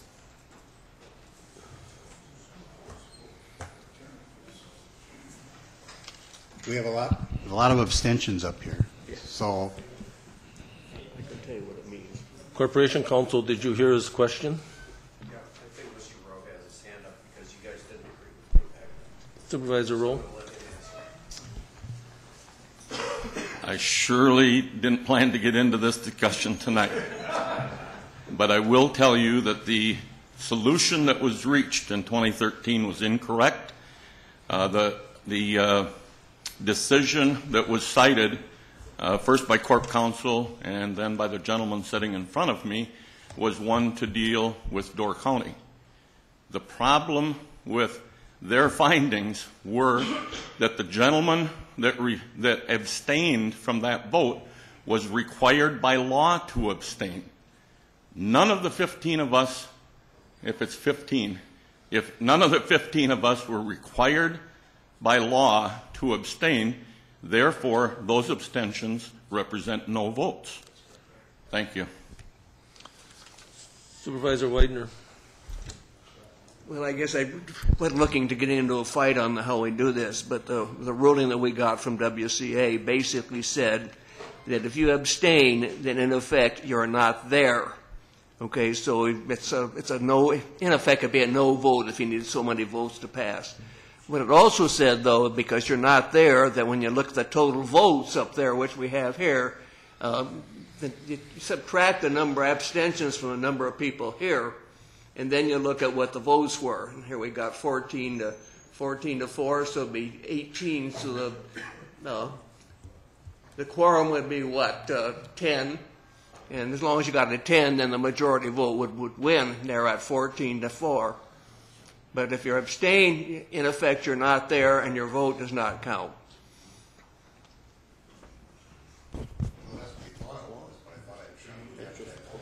You can use your button now, it's working here. Supervisor Fari? Go ahead.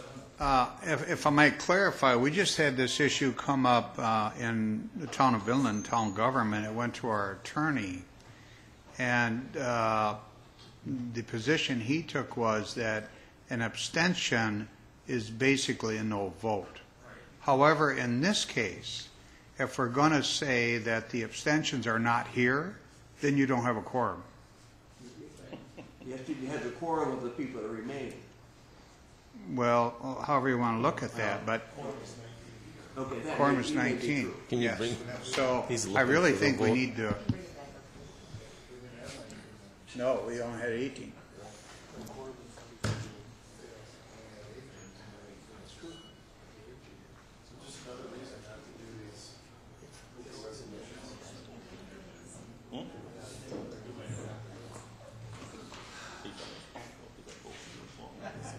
So, what's their answer? My, my understanding, the way you folks, oh, I better get up. The way you folks ruled previously was that if a person is not required to abstain because of a conflict of interest, in, in this case, in a majority vote of those present, that they are present, and that's counted as a no vote. The abstentions? The abstentions are counted as a no vote because you have, how many present? 30, how many present? 15 abstentions. 33? You have 33 people present, and it's, it's not, a, it's, it's not two-thirds of membership, it's a majority of those present. You folks are present, you're choosing not to vote. Supervisor Knitsky? Mr. uh, Chairman, thank you, Mr. Chairman, and council, and clerk and chairman. What's wrong with turning in our vote just exactly so many sa- abstain many made it aye and so many voted nay. Is there anything wrong with turning in our, a tally? Well, it's just that it, it's just that it's not carried. And if it's not carried, you're not going to send this down to Madison or to anybody else because you did not carry the, you did not carry the vote. But you know what I'm saying? That, that, Yeah, yeah, I, I, but, but that's not what your resolution says, Tom. Okay. Your resolution says this should be sent to all your representatives if it carries. It, it didn't carry. okay. So this has failed. Uh, Supervisor Hardy. Thank you, Mr. Chair. I'd like to request that at our organizational meeting, April 15th, that this issue be resolved, and I think uh, Corporation Counsel would probably be the one to help us uh, put in writing exactly how to handle this issue. I mean, with a, uh, something like this, it's not a big deal. When we're talking about the sale of an ice arena or some other piece of property, it is a big deal. And so I think it would be very beneficial to the next session of this board if we could have Corporation Counsel help us put in writing how to res- resolve Well, you, this you question. can, you can do whatever you want in relationship to Robert's Rules of Order. Your rules are going to prevail over Robert's Rules of Order. But one thing I'm not going to do is I'm not going to tell you how to, how to write your rules. You, it's up to you to do it. I can offer you suggestions, but you need to make that decision on your own. That's a political decision you folks need to make. I would like some suggestions, and I would like this board to adopt a rule at our organizational meeting, April 15th. Okay. Thank you.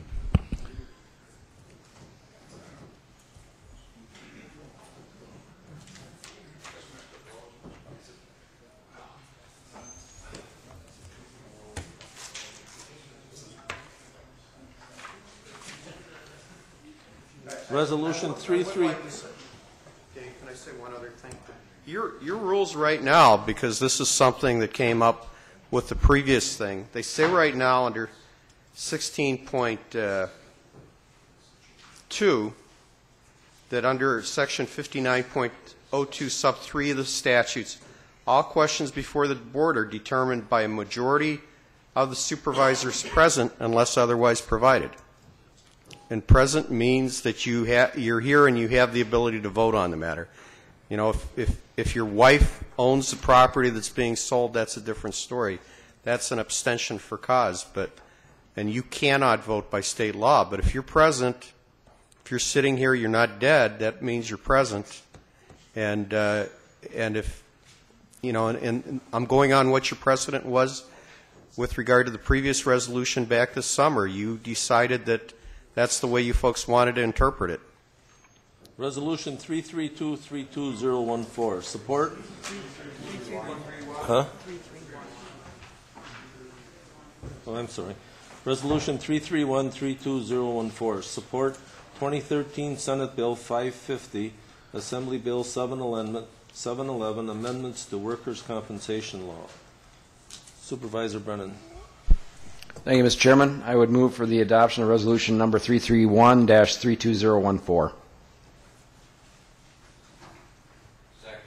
Been moved and seconded. Okay, Supervisor Haig.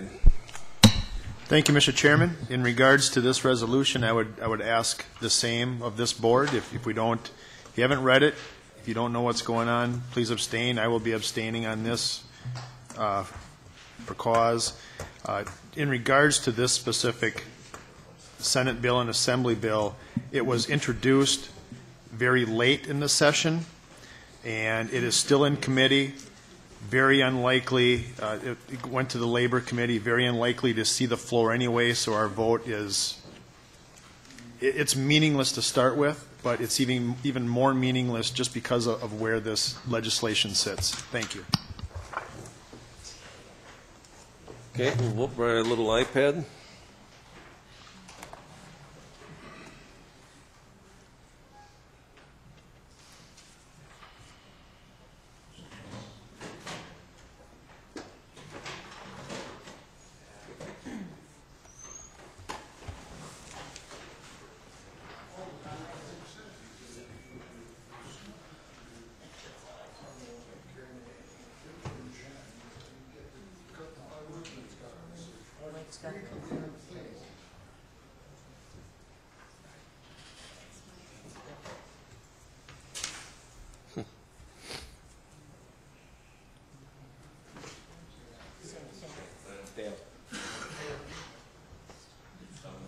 Failed.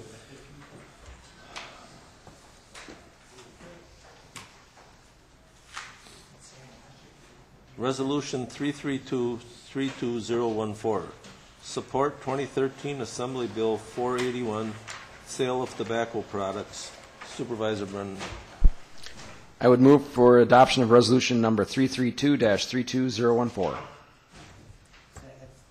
Been moved and seconded. Supervisor Eisen. Supervisor Eisen. I'm calling on you. Supervisor Eisen. Yeah. Thank you, Mr. Chairman. Yeah, if you take the time to read the damn thing, all it means is you're going to tax the little cigars the same as cigarettes.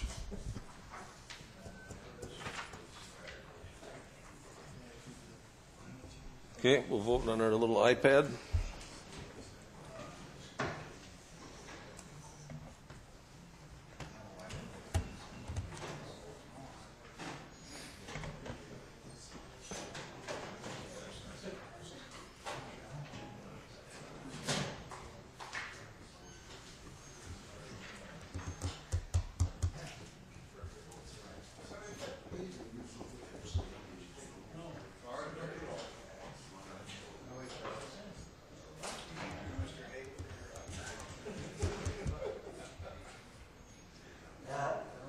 What did that?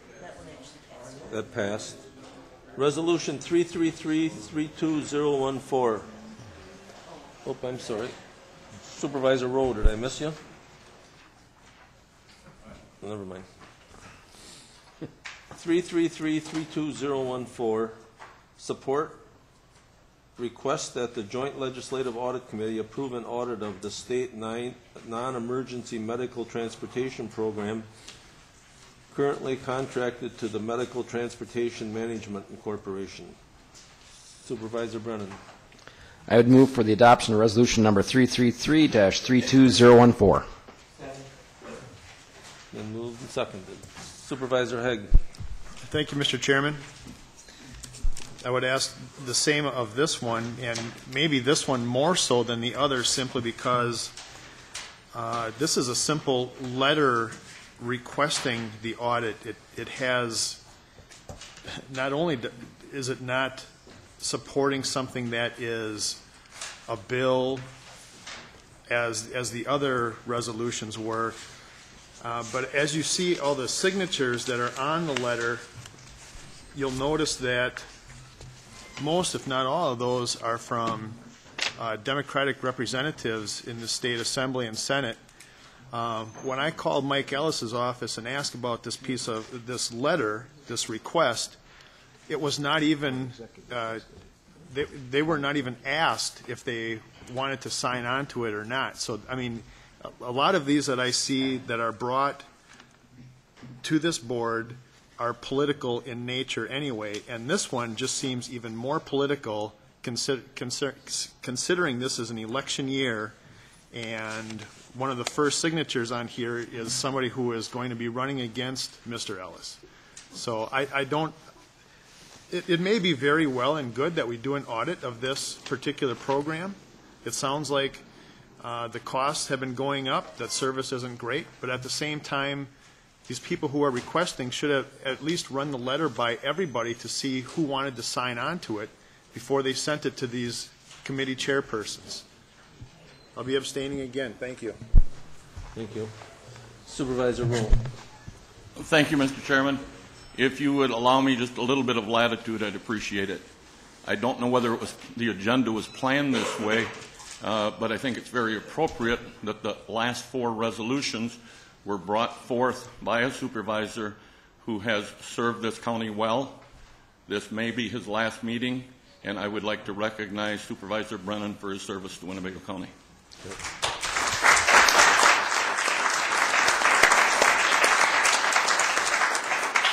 I was going to do the same thing because there's several others that aren't going to be here, so after we vote on this, I will, I will recognize those also. Okay, well, uh, Supervisor Eisen. Thank you, Mr. Chairman.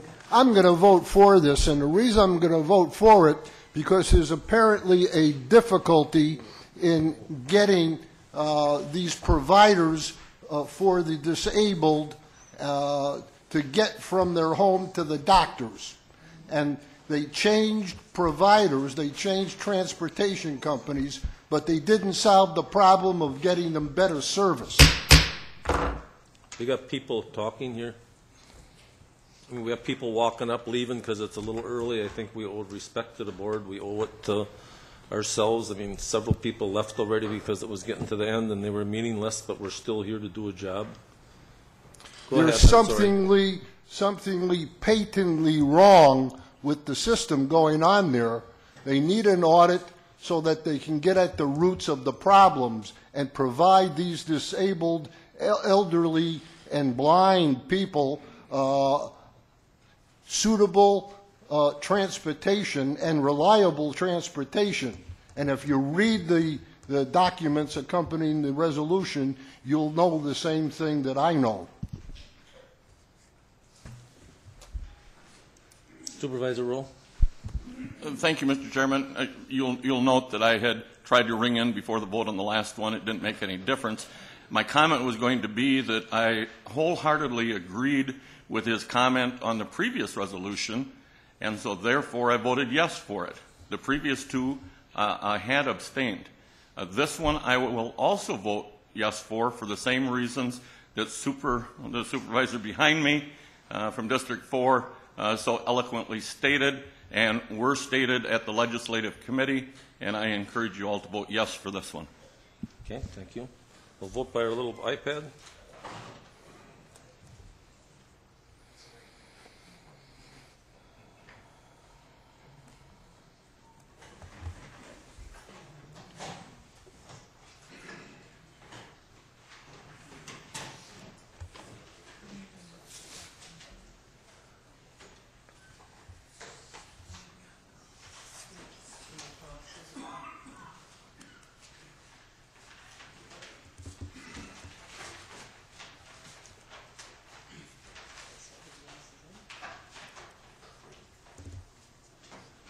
That is passed.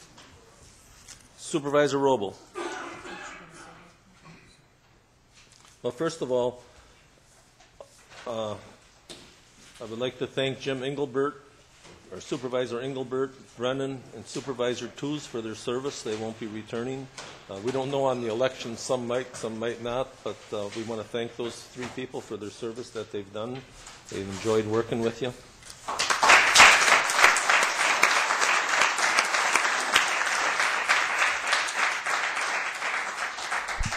Yeah, thank you, Mr. Chairman. I'll move that we adjourn until Tuesday, April 15th at 6 PM. Okay, we are adjourned.